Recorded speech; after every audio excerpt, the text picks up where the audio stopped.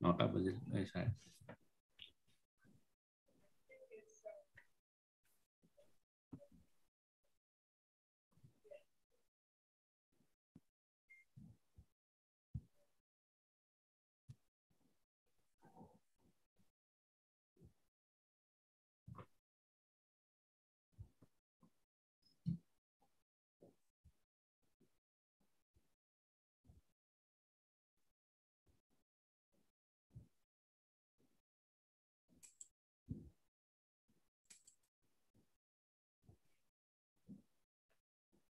চাৰে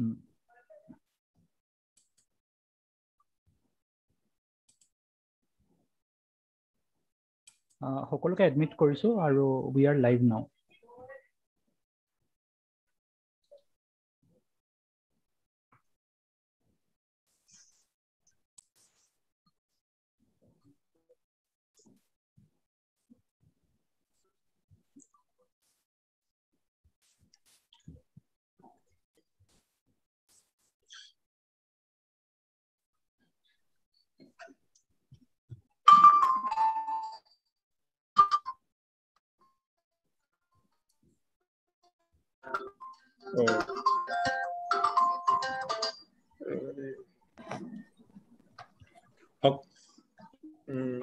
এতিয়া আৰম্ভ কৰিব পাৰি নহয় জানো? হয় অনুপম দা হেৰি কয় লাইভ হৈ গৈছে। অকে। সকলোকে শুভ সকলোলৈকে শুভ সন্ধ্যা জনাইছো। আজি আমি অতি আনন্দিত যে আমাৰ মাজত উপস্থিত আছে ডক্টৰ মৌচুমী কন্দলী তেওঁ আমি সকলোৱে জানোৱেই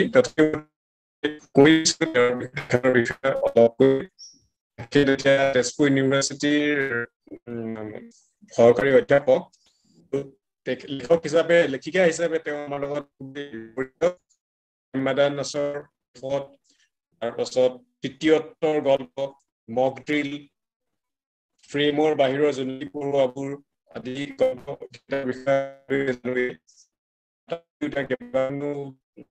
অনুবাদো কৰিছে অসমীয়ালৈ তেওঁ নতুন শৈলীৰে গল্প লিখে গতিকে সেইবাবে তেওঁ আটা সমাজৰ বিশেষভাৱে জনপ্ৰিয় আজি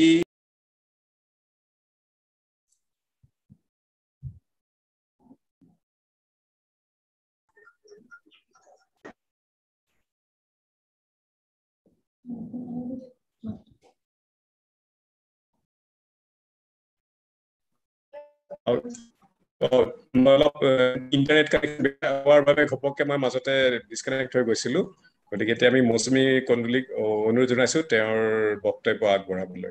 আৰু তাৰ পাছত আমাৰ এটা ইণ্টাৰেকশ্যন হ'ব আপোনালোকে যাতে তেখেতৰ লগত বাৰ্তালাপ কৰিব পাৰিব।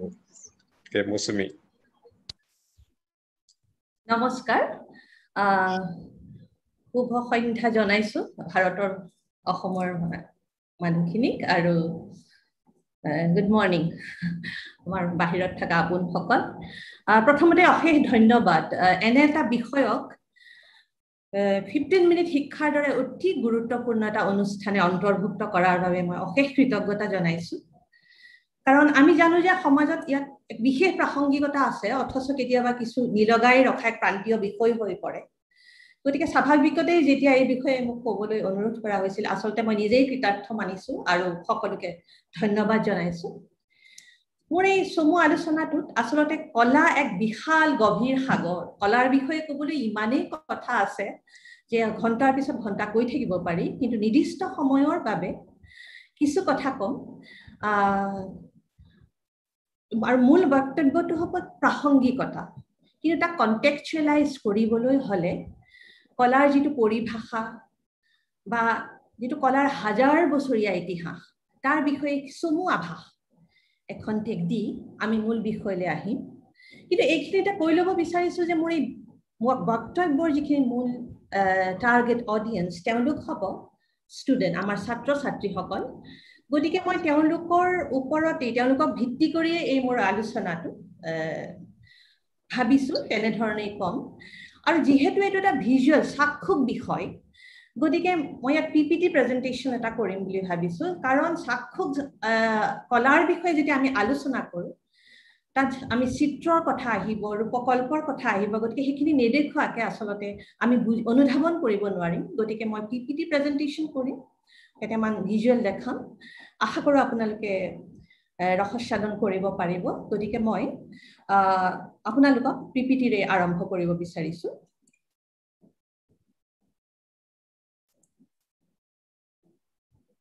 আৰু স্ক্ৰীনখন দেখা পাইছেনে বাৰু? অ বাইদেউ দেখা পাইছো। দেখা পাইছে ন? অ অ।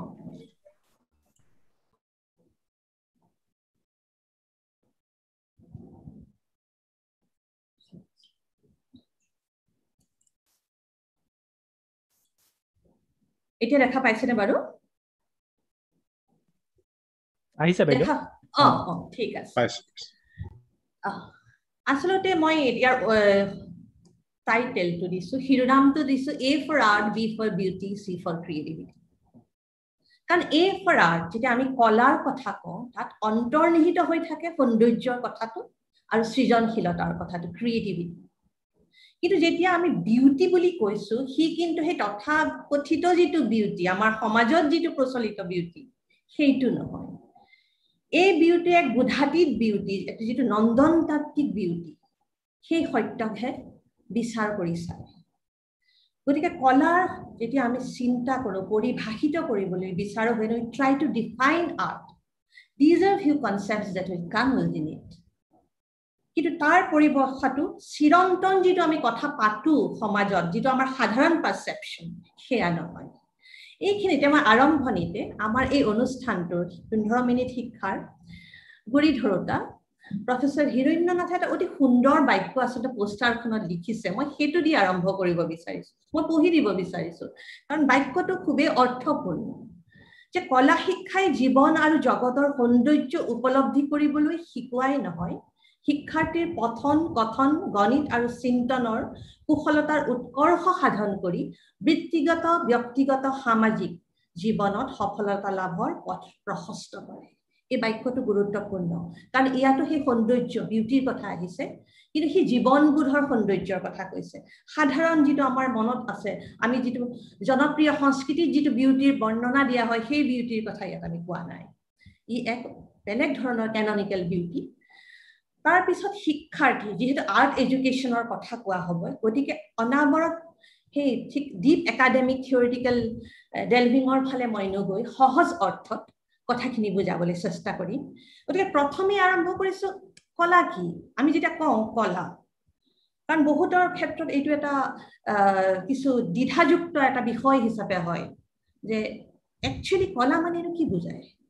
গতিকে প্ৰথম আৰম্ভণি হিচাপে মই এটা বাক্য ইয়াত আনিবলৈ বিচাৰিছো হৈছে যে art is a universal human trait and attribute এতিয়া প্ৰশ্নটো আহিল এই বাক্যটো অজস্ৰ বাক্যৰ মাজত মই কিয় বাছি ললো? Why I have chosen this particular sentence যে হিউমেন ইউনিভাৰ্চেল ট্ৰেড এণ্ড এট্ৰিবিউটৰ কথা কিয় কোৱা হৈছে?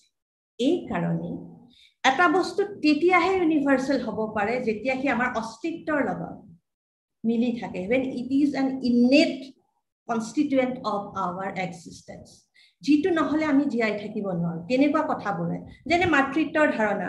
আজি মোৰ যিটো মাতৃত্বৰ ভাৱ সেইটো পৃথিৱীৰ যিকোনো ঠাইৰ এগৰাকী নাত্ৰীৰ মনত সেই একেই মাতৃত্বৰ ভাৱ থাকে। ঠিক তেনেকে শিল্প চিন্তা কলাৰ চিন্তা কলা সৃষ্টিৰ সৃজনশীলতাৰ যিটো চিন্তা সেইটো এটা বিশ্বজনীন ভাৱ it's a universal human trait গতিকে আমাৰ অস্তিত্বৰ লগত এনেকেই সোমাই আছে যে আমি সেই তাৰ বিশ্বজনীনতাক নুই কৰিব নোৱাৰো। আমাৰ অস্তিত্ব বিহীন হৈ যাওঁ।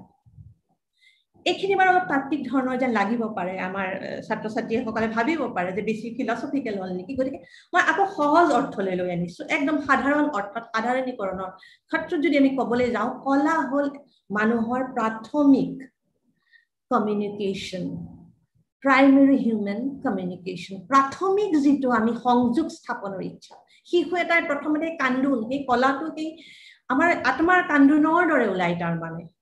কলাত বিভিন্ন ধৰণৰ কিন্তু আছে সৃজনশীল কলাত বিভিন্ন ধৰণৰ শাখা প্ৰশাখা আছে। ধৰক ভিজুৱেল আৰ্ট যি যিটো মোৰ আজি মূল বিষয় হ'ব চাক্ষুক কলা পৰিৱেশ্য কলা সাহিত্যও এক কলা আচলতে। সেইকাৰণে ইংলিছত লিটাৰী আৰ্ট বুলি কয় আজিকালি। চিনেমা ফটোগ্ৰাফী পৰিৱেশ্য কলাত আছে সংগীত নৃত্য নাট্য অজস্ৰ শাখা প্ৰশাখা আছে। আৰু সেই সকলোৱে আদিম যুগৰ পৰা from the primitive time to till date আমাৰ প্ৰেজেণ্ট এণ্ড পাষ্টত আৰু in future and sure they will be continuing সেইটো চলি থাকিব যে মানুহে কি কৰিব? কিছুমান ইউনিক কমিউনিকেশ্যনৰ দ্বাৰা য'ত থাকিব জেষ্যাৰ ভংগীমা। যেনেকৈ নৃত্যই ভংগীমাৰে প্ৰকাশ কৰে। ঠিক তেনেধৰণে ইউনিক ইমেজেছ চিত্ৰকল্প ৰূপকল্প আদি বিভিন্ন ধৰণেৰে যিটো কমিউনিকেশ্যন হয় যিটো আমাক ভবাই তোলে য'ত কেৱল শব্দ নাথাকে আৰু বহুত থাকে ধ্বনি থাকে। সংগীতত যেতিয়া ৰেৱাজ হয় আমি কি বুজি পাওঁ? যেতিয়া আ আদি আৰম্ভ হয় আটোতনো কি আছে? সেই যিবিলাক বেলেগ ধৰণৰ এক কি বুলি ক'ম বিমূৰ্ত কিছু পৰ্যায়ত বিমূৰ্ত যিবিলাক কমিউনিকেশ্যন এক্সট্ৰেক্ট কমিউনিকেশ্যন সেই গোটেই সমাহাৰেই হৈছে কলা। আৰু সেইকাৰণে কলাক ভিতৰত যিটো আমাৰ যিটো কলাৰ প্ৰতি যিটো কল্পনা প্ৰৱণতা বা তাৰ এপ্ৰিচিয়েশ্যন তাৰ ৰসস্বাদনৰ যিটো আমাৰ যিটো এক সামূহিক যিটো চিৰন্তন ভাৱ আছে আমাৰ এভৰিবডি হেজ দেট এপ্ৰিচিয়েশ্যন কিছুমানে কয় কিছুমানে নকয়। সেইটো কিন্তু যুগ যুগ ধৰি চলি আহিছে। আৰু ই আমাৰ সাংস্কৃতিক ঐতিহ্য মানুহ মানৱ সভ্যতাৰ যিটো সাংস্কৃতিক ঐতিহ্য the cultural heritage of human civilization ৰূপে পৰিগণিত হৈছে।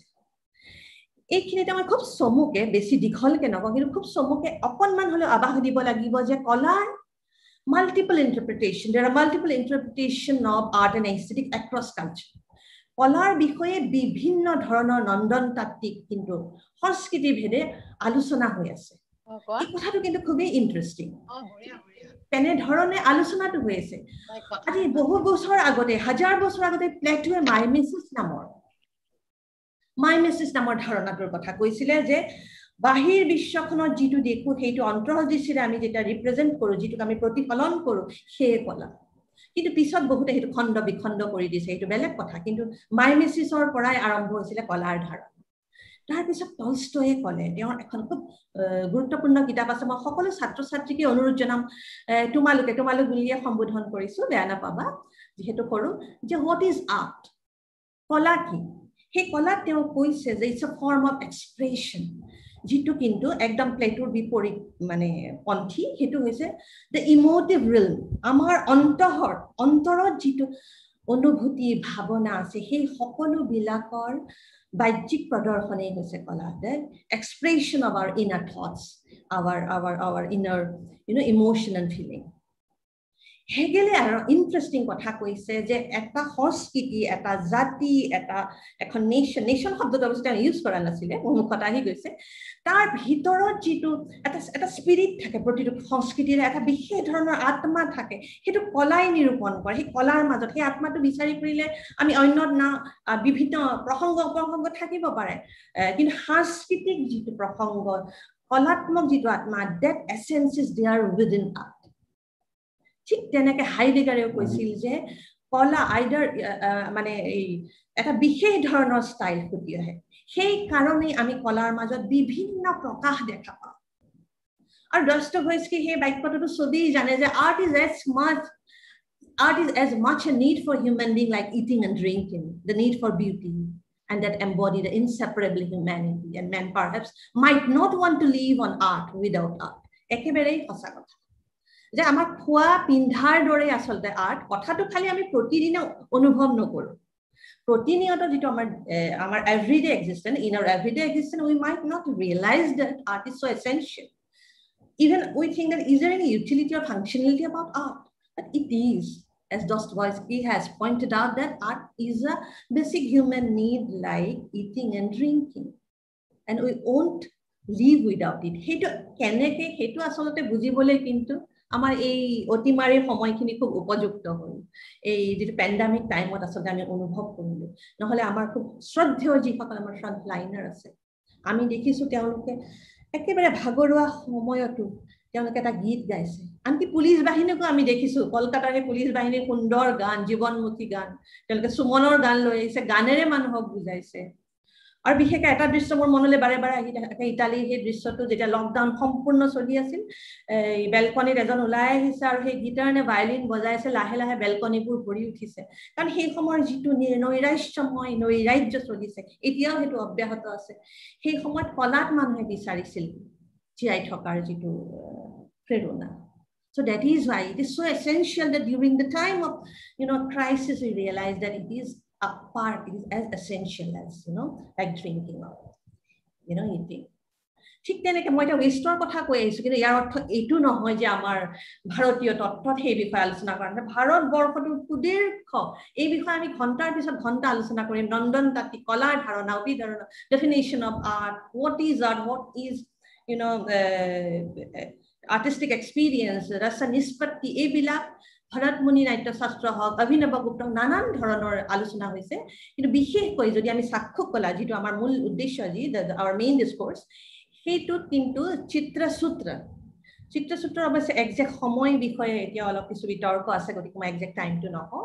সেইটো বিষ্ণু ধৰ্মোত্তৰ পুৰাণৰ যিটো খণ্ড তিনি নম্বৰ খণ্ডত উল্লেখ কৰিছে যে যেতিয়া আমি সূৰ্য দেখোঁ আমি পাহৰি যাওঁ সূৰ্যাস্ত দেখোঁ ঠিক তেনেদৰে কলাটো এনেকুৱা এটা বস্তু যে আমাৰ মনলৈ এটা আনন্দৰ ভাৱ আনে আৰু আমি নিজৰ অস্তিত্বটো পাহৰি যাওঁ। We forget about our own existence and attachment also' so' the moment we and and of course খুব খন্তেকীয়া হয়। এইটো নহয় যে আমি গোটেই দিনটো কলাতে মগ্ন হৈ আছো। নিশ্চয় আমাৰ শাক ভাতৰ পৃথিৱীখনলৈ আমি ঘূৰি আহিবই লাগিব। We have to come back we have to মানে কিন্তু সেই কেইটামান মুহূৰ্তত উই ফৰগেট ইট আৰু সেই মুহূৰ্ততে সেই মুহূৰ্ততে চিত্ৰসূত্ৰ কি সুন্দৰ অভিব্যক্তি চ' বিউটিফুল এক্সপ্ৰেশ্যন কৈছে যে এটা ইউনিক লিবাৰেটিং এক্সপিৰিয়েঞ্চ হয় কি হয় because we feel that underlining creation of the world the universe গতিকে এনেধৰণৰ প্ৰাচ্য পাশ্চাত্যত বিভিন্ন ধৰণৰ কলাৰ বিষয়ে আজি হাজাৰ বছৰ ধৰি হৈ আহিছে। এতিয়া বেচিক প্ৰশ্নটো হ'ল যে হিউমেন বিঙে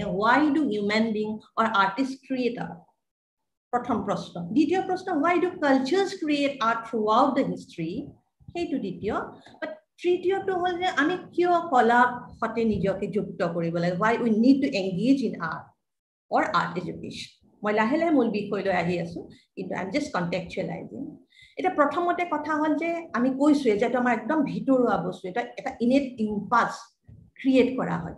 নহ'লে আমি কি একদম প্ৰি হিষ্টৰিক টাইমলৈ যদি আমি ঘূৰি যাওঁ if you go' back to when you look at the cave and i'm sure all of you you must have seen in your history book that in the cave the uh, primitive man would you know draw some sketches mostly animals and men in a schematic way of course সেই যে আঁকিলে হাজাৰ বছৰ আগতে বেৰত যেতিয়া সভ্যতা একো হোৱাই নাছিল এই যে বেৰত আঁকিলে কি তাৰণাত আঁকিছিলে ইমান সুন্দৰ বাইচন আকৌ যে মই ইউনিভাৰ্চেল বিশ্বজনীনতাৰ কথা কলো ৱেষ্টত যদি আল্টামিৰাৰ গুহাত আঁকিছে আমাৰ ভাৰতত ভীম বেটকাত আঁকিছে। কি অপূৰ্ব একেলগে ঘটিছে। সময়ৰ কিছু তাৰণা থাকিব। কিন্তু আমাৰ যিটো মানৱ সভ্যতাৰ আৰম্ভণিতেই সেই কলাৰ উৎসৰ্গ হৈ আছে। কিহৰ কাৰণে? প্ৰথম কথাটো হ'ল তাৰমানে নান্দনিক অনুভৱটো ভিতৰতে থাকে। আমি এতিয়া আৰ্টিকুলেশ্যন কৰিছো we have started articulating you since medieval time or pre medieval time that's a different thing but in the very beginning itself that was a innate feeling আমাৰ অন্তৰত সোমাই থকা ইষ্টেটিকেল যিটো ফিলিং অনুভূতি, সি এটা simple reason you need to create art it's for mental pleasure বা সেই ৰূপটো দেখি যেনেকে চিত্ৰ সূত্ৰত কৈছে যে আমি সূৰ্যটো দেখাৰ লগে লগে ৰাতিপুৱা উঠিয়া ক'ব নোৱাৰাকে গাটো শিহৰণ হৈ যায় বা ৰাতিৰ আকাশ যিটো বৰ ধুনীয়াকে ভেন গগে ষ্টেৰি ষ্টেৰি নাই সেই গান এটাও ৰচনা হয় ধৰি ৰাখিছে ঠিক তেনেকে। যে এই স্থিতি কিয় হয় আমি আৰ্টিষ্টে এটা ভিতৰৰ ইনহেৰেণ্ট কামৰ কাৰণে তাৰণাৰ কাৰণে বিকজ অফ দেট দেখুৱাই। এতিয়া আপোনালোকে এই ছবিখন চাওক মই দিছোঁ ছবিখনত দেখি বা ডেন্সিং গাৰ্ল সেইটো হ'ল কিমান বছৰ পুৰণি ইণ্ডাছ ভেলী চিভিলাইজেশ্যনৰ এজনী টিনেজাৰ ছোৱালীৰ ভাৱ ভংগীমা আচৰিত লাগে। প্ৰকাশ শৈলীটো চালে কোনোবাই হয়তো ক'ব ঠিককেতো এনাটমিটো হোৱা নাই ৰিয়েলিজিম যেন লগা নাই। কিন্তু ভাৱ অনুভূতিটো এজনী টিনেজাৰ ছোৱালীৰ যিটো মনৰ ভাৱ অকণমান উৰ্ধ হৈ আছে মুখখন। এই নতুনকে যৌৱন প্ৰাপ্ত যিটো এটা এক ধৰণৰ তাইৰ ভংগীমাটোত অথচ বডিটোলৈ কিছু অকৱাৰ্ডনেছ এটাও আছে। সেই কথাবোৰ ইমান সুন্দৰকে সেই অনামী শিল্পীয়ে ধৰি ৰাখিলে। সেইটো মই গোটেইখিনি আলোচনা কৰিবলৈ অসুবিধা হ'ব কিন্তু সেই এস্থেটিক্সটো সেই প্ৰবাহমান that that has continue over the and centuries দ্বিতীয় কথাটো হ'ল আমি কলাক ধৰ্মীয় আহিলা হিচাপে কলাক অংকন কৰা হয় as a religious religious purpose, because কলা তেতিয়া এটা চেক্ৰেট অবজেক্ট হৈ পৰিল। শিৱলিংগটো ধৰক। বা এটা মূৰ্তি প্ৰতিমা এতিয়া দুৰ্গা পূজা আহি আছে প্ৰতিমা বনাই আছে এতিয়া মাটিৰ প্ৰতিমাতে কিন্তু যোনদিনাৰ প্ৰতিষ্ঠা হ'ব এটা ছেক্ৰেট অবজেক্ট হৈ যাব এটা পবিত্ৰ বস্তু যাক আমি পূজা কৰিম ইমেজ হ'ব সেই চাইডটো এটা চাইড অফ স্পিৰিচুৱেলিটি হ'ব। কলা কেনেকে ৰূপান্তৰ হৈ গৈছে কেনে অংগাংগীভাৱে the way as an integral part it has been we never realize it, but when we, once we start thinking, we know that it has played a very important role. গতিকে মই ইয়াত খ্ৰীষ্টিয়ান আৰ্টৰ এটা example দিছোঁ ইয়াত যিচু অতি পুৰণি এইখন বৰ সুন্দৰ এই মনেষ্ট্ৰীত আছিলে চাওক যীশুখ্ৰীষ্টক গা ধোৱাৰ দৃশ্য। সেইকাৰণে ছবি দেখুৱাইছো। কি সুন্দৰ কিমান হাজাৰ বছৰ আগতে আঁকি গৈছে যীশুখ্ৰীষ্ট। তাৰ অথচ তাৰ লগতে কিন্তু এটা অংগাংগীভাৱে এটা মানে মানৱ জীৱনৰ প্ৰতিফলনো আছে কিন্তু যেনেকে শিশুক সঁচাকে গা ধোৱা হয় চৰিয়া এটা। ঠিক সেইটোৱে। যিটো আমাৰ এই কৃষ্ণ জন্মৰ বৃত্তান্তটো আমি দেখা পাওঁ। তাৰপিছত আৰ্টক প্ৰায়ে এটা ভিজুৱেল নেৰেটিভ হিচাপে ইউজ ব্যৱহাৰ কৰা হয় as a part of literary text illustrations যিবিলাক কৰা হৈছে and it has continued as a very very important vibrant tradition for ages আৰু মই ইয়াত এখন অসমৰ পুথিচিত্ৰ নৰেন কলিতাৰ তাৰ পৰা চিত্ৰ ভাগৱতৰ এখন দিছোঁ আপোনালোকে মন কৰক and I must tell at this point that we have such a rich heritage of you know uh, manuscript painting in Assam. দুখ লাগে কেতিয়াবা বহুতে নাজানে কিন্তু এই আমি একেবাৰে কিমান যুগৰ পৰা এই পৰম্পৰা আমাৰ প্ৰবাহমান হৈ আছে চ' এইটো এইটো যিটো এটা ভিজুৱেল নেগেটিভ হিচাপে ইয়াক ইউজ কৰা হৈছে তাৰ সুন্দৰ প্ৰমাণ হৈছে এইবিলাক painting manuscript and miniature painting য'ত আমি দেখা পাইছোঁ চিত্ৰ ভাগৱতৰ কথা সুন্দৰভাৱে কৃষ্ণৰ গোটেই বাক্যটো এইখিনি লিখা হৈছে টেকচুৱেল এনালাইচিছটো ইয়াত কাষতে ধুনীয়াকে ছবিৰে বুজাই দিছে কাৰণ সকলোতো শিক্ষিত নাছিল কিন্তু যোনে সেই ছবিখন চাব বুজি পাব যে কৃষ্ণই বাঁহী বজাইছে। লগতে তেওঁৰ আপুনি টেক্সুৱেল ৰিডিং কৰি গৈ থাকিলে তেওঁৰ বান্ধৱ গোটেই কথাবিলাকে আমাক জোকাৰি যাব। তাৰপিছত কলাক সৃষ্টি কৰা হৈছিল হিষ্টৰিকেল ৰেকৰ্ডাৰ হিচাপে আমি চাব পাৰোঁ। আচলতে হিষ্ট্ৰীৰ এটা অতি গুৰুত্বপূৰ্ণ শাখা হৈছে কলা ইতিহাস আৰ্ট হিষ্ট্ৰী বহুতো কথা এতিয়াৰ কথা বেলেগ কিন্তু বহুতো কথা যি সময়ত কিছুমান বস্তু হয়তো লিটাৰী এভিডেঞ্চ হেৰাই গৈছে কলাই আমাক সেই সুৰুঙাবোৰ সেই সূত্ৰবোৰ দাঙি ধৰে যিটো আমি বুজি পাওঁ। সেইকাৰণে মই ইয়াত চাৰিখন বেলেগ বেলেগ ধৰণৰ ভিজুৱেল দিছোঁ। এইকাৰণেই যে it provides valuable information about important people আজি নেফাৰ্টিটি এগৰাকী কুইন আছিল দেখিবলৈ কেনেকুৱা আছিল? এতিয়া হলিউডত চিনেমা বনাইছে। সেই নেফাৰ্টিটিৰ আৰ্হি লৈয়ে কিন্তু বাস্তৱ নেফাৰ্টিটি যিটো উদ্ধাৰ হৈছে এইটো ইজিপ্তীয় সভ্যতাৰ এটা বিখ্যাত ৰূপকল্প ইয়াত এইফালে আমাৰ ইণ্ডাছ ভেলী চিভিলাইজেশ্যনৰ যিজন পুৰোহিত ৰজা the king priest priest king বা যিয়ে নকওঁ। এওঁলোকক আপোনালোকে মন দি চাওকচোন যিখন আলোৱান তেওঁ লৈ আছে কি সুন্দৰ। গতিকে আমি টেক্সটাইলৰ কথা গম পাই গলো। তেখেতে কপালত কি ধুনীয়া পিন্ধিছে যিটোৱে আমাক জুৱেলাৰীৰ কথা কৈ দিলে। তেওঁ দাড়িখিনি যেনেকে ৰাখিছে যে ৰজাৰ তেনেকুৱা ধৰণৰ আছিল আমি এটা পুৰোহিত শ্ৰেণী ৰাজ ৰাজন্য গোটেই গোটেই কথাখিনি যদি আমাৰ হাতত কোনো ধৰণৰ literary evidence নাথাকিলহেঁতেন it becomes a visual recorder of the time এই দুটাটো বেলেগ কথা কিন্তু এই দুখন ছবি চাওক সেই সময়ত ইজিপ্তত থকা শ্লেভেৰীৰ দাসত্বৰ জীৱনৰ এইটো এটা কেনেকুৱা ধৰণৰ significant visual a person, a slave is being beaten and somebody is saying that please নামাৰিব। এই কথাটো। কিন্তু আকৌ মোগল পেইণ্টিং যিটো এই ধৰক যুদ্ধ কৰে আছে যুদ্ধ। গতিকে মই জাষ্ট অকণ অকণকে এটা এটা গ্লিমছ দেখুৱাই বুজাব বিচাৰিছোঁ নহ'লে বিস্তৰভাৱে নাযাওঁ ইমান সময় নাই। তাৰপিছত ইয়াক অল আৰ্হি হিচাপেও আইডিয়েল হিচাপেও ব্যৱহাৰ কৰা হৈছিল কলা। To depict great change and human behaviour কাৰণ ইয়াক এটা নৈতিক অৱস্থানত কৰা হৈছিল as a moral tool as a ethical you know propaganda সেইকাৰণে মই এই চেৰিটি বাই লৰেঞ্জ কষ্টা দিছোঁ। ইয়াত চেৰিটিৰ ধাৰণাটো বুজাবলৈ এই পেইণ্টিংখন কৰা হৈছে বা গৌতম বুদ্ধৰ এই মূৰ্তি। আপোনালোকে দেখিব ভাৰতবৰ্ষত হাজাৰ হাজাৰ মূৰ্তি তৈয়াৰ হৈছে। এইটো এইটো দেন্ধাৰা ষ্টাইল নহয় এইটো হেৰি মাথুৰা ষ্টাইলত যিটো কৰিছে সময় দিয়া আছে। সন্ত তেওঁৰ যিটো ধ্যানমগ্ন মূৰ্তি যিটো noble quality of human being সেই কথাখিনি বুজোৱা হৈছে। এই কলাই এই কথাখিনি কৈ আছে। আৰু শেষত আহিছো বিভিন্ন আছে মই গোটেইখিনি সামৰিব নোৱাৰিম যিকেইটা অত্যন্ত গুৰুত্বপূৰ্ণ সেইখিনি কলো পলিটিক্স ৰাজনৈতিক ভাৱাদৰ্শ বা বিভিন্ন চিন্তা চৰ্চাৰ আহিলা ৰূপে কলা যোগে যোগে আহিছে। গুৱেৰনিকাখন আপোনালোকে দেখিছে গুৱেৰনিকা পাব্লো পিকাচো গুৱেৰনিকা দিছো আৰু এইখন হ'ল শিল্পী নৰ্মেন ৰকৱেলৰ দেই তেখেতে the problems we all live with বৰ্ণবাদী বৈষম্যৰ বিষয়ে অতি সুন্দৰ তাৎপৰ্যপূৰ্ণ ছবি আৰু এইখনত স্পেইনৰ চিভিল ৱাৰৰ বিষয়ে গতিকে পলিটিকেল প্ৰপেগেণ্ডা হিচাপে ইউজ হৈছে আৰু প্ৰটেষ্ট হিচাপে চ' art has always been a voice of the marginalized people. Art has always taken, played that role since, you know, uh, I'll not say prehistory, but pre-medieval time, এই এইটো চলি আহিছে। খালি আমি ৰিডিং কৰিবলৈ জানিব লাগিব। ক'ত কি আছে আমি বিচাৰি জানিব লাগিব। দেখাকে নাই দিয়া। ইয়াৰ লগতে মই এটা উক্তিও লিখি দিছো। মই মাতি নাযাওঁ আপোনালোকে যোনে পঢ়িব বিচাৰে পঢ়িব পাৰে। কাৰণ টু থাউজেণ্ড ছিক্সটিনত এটা খুব গুৰুত্বপূৰ্ণ ৰিচাৰ্চ কৰা হৈছিল art and humanities research council U কেৰ তেওঁলোকে এটা কালচাৰেল ভেলু প্ৰজেক্ট কৰিছিলে। সেই ভেলু প্ৰজেক্টটোত তেওঁলোকৰ যি যি ফাইণ্ডিং সেয়া আমি দেখা পাইছো। তেওঁ এই ফাইণ্ডিংটো যদি আপোনালোকে পঢ়ে তাত লিখা হৈছে যে সেই পাৰ্টিচিপেশ্যনে কেনেকে মানুহৰ মাৰ্জিনেলাইজ মানুহৰ আইডেণ্টিটি ফৰ্মেশ্যনত সহায় কৰিছে নট অনলি ফৰ্মেশ্যন এক্সপ্ৰেশ্যনত সহায় কৰিছে। কেনেধৰণে আনকি চিভিক বিহেভিয়াৰতো সহায় কৰিছে সেই বিষয়ে। এতিয়া মই এটা দ্বিতীয় পৰ্যায়টোলৈ আহিছো মই খৰ খৰকে যাম বেছি বহলাই ক'বলৈ অসুবিধা যে কিয় ক্ৰিয়েটিভ ইম্পালছত কৰে আৰু কি কাৰণে। ইয়াত মই চাৰিখন উদাহৰণ দিব বিচাৰিছো art as self expression allow a human subject to express one's idea and feeling এই কথাষাৰটো মই কৈ দিলোঁ যে art is not just a physical exercise of a pair of a hand, uh, skillful hand, but it's a blended manifestation of psychological state, human experience, creative imagination. এই কথাটো ক'বলৈ এই প্ৰমাণটো দিবলৈ এই চাৰিখন মই লেণ্ডস্কেপ দেখুৱাইছো এই কাৰণে একেই নৈসৰ্গ কিন্তু আমাৰ ভিতৰত যিটো আমাৰ যিটো মানসিক অৱস্থা due to our psychological state human experience creative imagination একেটা নৈসৰ্গ ছেইম এভিনিউ বেলেগ বেলেগ ধৰণে ৰূপান্তৰিত হৈছে। এইখনটো খুবেই বিখ্যাত ছবি সকলোৱে জানে। ষ্টেৰি নাইট ভেন গগৰ সেইকাৰণেই দিছো। আৰু এখন হ'ল কেচপাৰ ডেভিডৰ ধৰক এই সাগৰৰ দৃশ্য। আৰু এইটো হ'ল টেৰাইনৰ কিমান ৰঙা প্ৰকৃততে জানো পৃথিৱীখন ইমান ৰঙা। কিন্তু তেওঁৰ ভিতৰত যিটো উন্মাদন আহিছে প্ৰেমৰ ভাৱত নিহিত।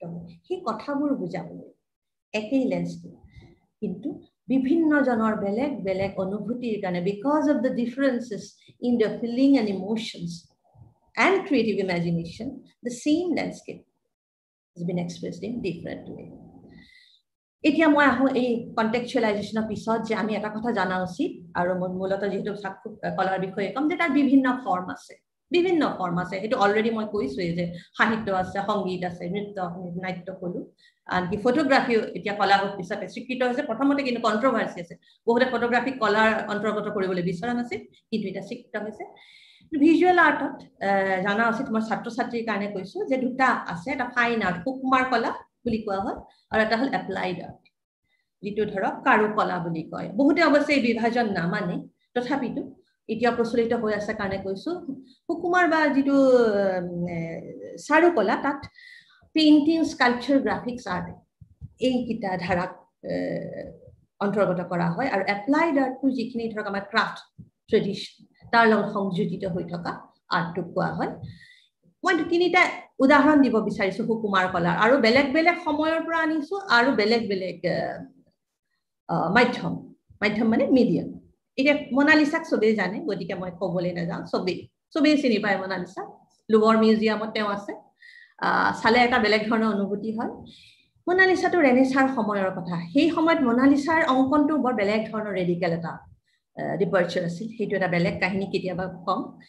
তাৰপিছত মুখৰ এই স্ক্ৰীম এই স্ক্ৰীমটো কিন্তু মোৰ বাৰে বাৰে অনুভৱ হয় যেন প্ৰতিটো যুগতেই মানে আমাৰ এই অন্তৰ আত্মাৰ চিঞৰ হৈ মুখৰ চিঞৰটো স্ক্ৰীম বাজি আছে। কাৰণ এইটো দ্বিতীয় মহাযুদ্ধৰ সেই দুখ যন্ত্ৰণাক ল'বলৈ প্ৰকাশ কৰিবলৈ অঁকা হৈছিল। এয়া হ'ল স্কাল্পচাৰ শেহতীয়া এই টিজত বনোৱা এইটো হ'ল world citizen French artist Bruno কেটলানোৱে কৰা।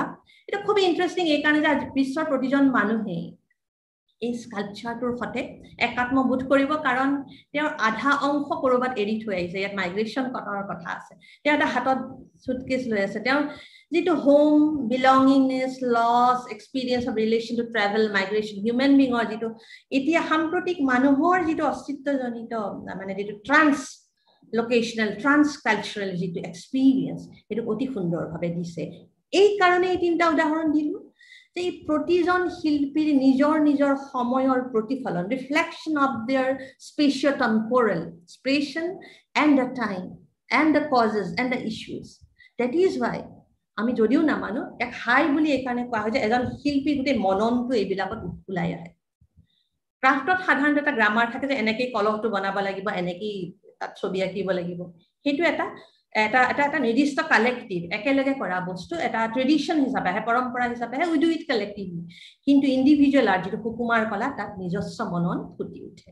এইবিলাক হ'ল ক্ৰাফ্ট বিভিন্ন ধৰণৰ সেয়া অসমৰ ক্ৰাফ্ট আছে ৱাৰ্লি পেইণ্টিং আছে বেলেগ বেলেগ ধৰণৰ ক্ৰাফ্টৰ মই ভাৰতবৰ্ষৰ আপোনালোকক উদাহৰণ দেখুৱাইছো। যে এটা পৰম্পৰা চলি আহে মানুহে সেই গ্ৰামাৰটোৰ মতেই কাম কৰে। কিন্তু সুকুমাৰ কলাক সেইকাৰণে সুকুমাৰ কলা বুলি কয় সাধাৰণতে যে ইয়াত শিল্পী নিজস্ব দি distinct idiom of the artist gets expressed.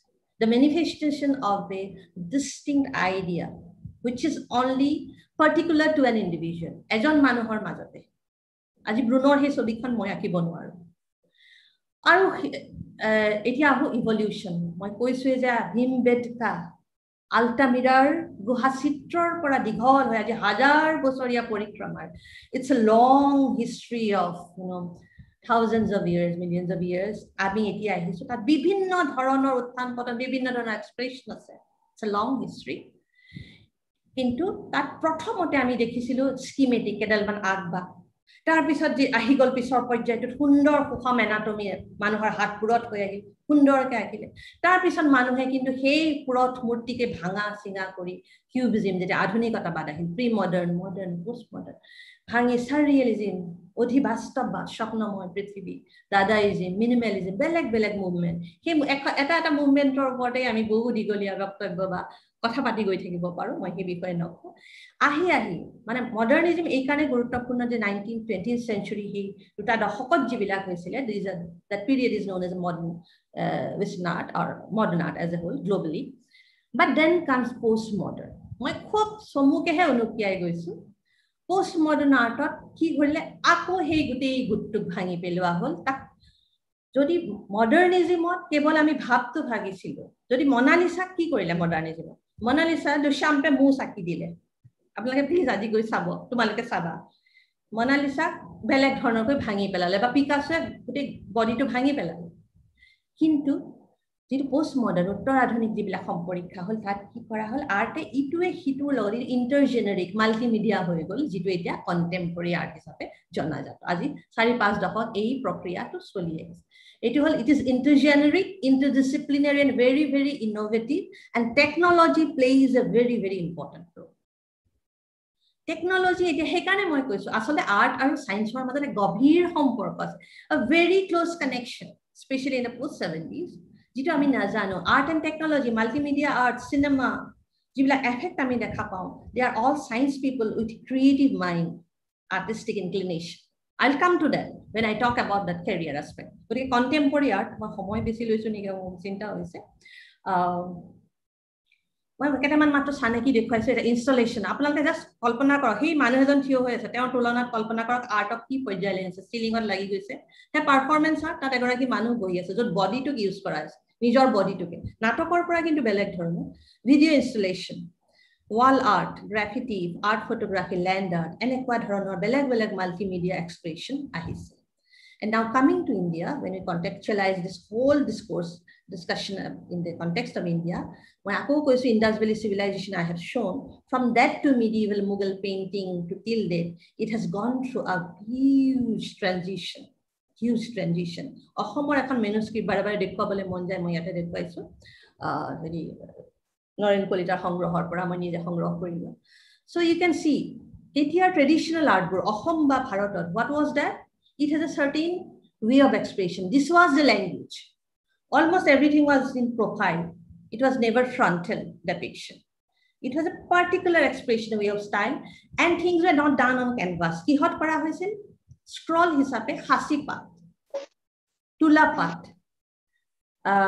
কাপোৰ এনেকুৱা ধৰণৰ মিডিয়ামবোৰ সেইবোৰ আছিল ৰং নিজে বনোৱা হৈছিল হেঙুল হাইটাৰ so' it is at all together different tradition but at the advent of British colonization গোটেই চিনটো সলনি হৈ গ'ল the entire discourse, there was a radical change in the beginning of 19th century when modern art was introduced by the British due to, of course, they had a different agenda. We can talk about it in a different lecture.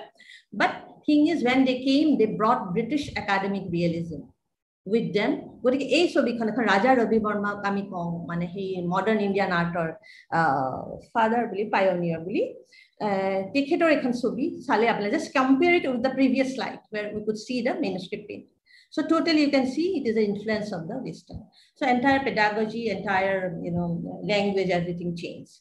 So এইটো হ'ল আমাৰ পৰিক্ৰমা and these are then আৰু কিন্তু এতিয়ালৈকে আমাৰ ধৰক প্ৰায় ডেৰশ এশ বছৰ ডেৰশই হ'ব এতিয়া।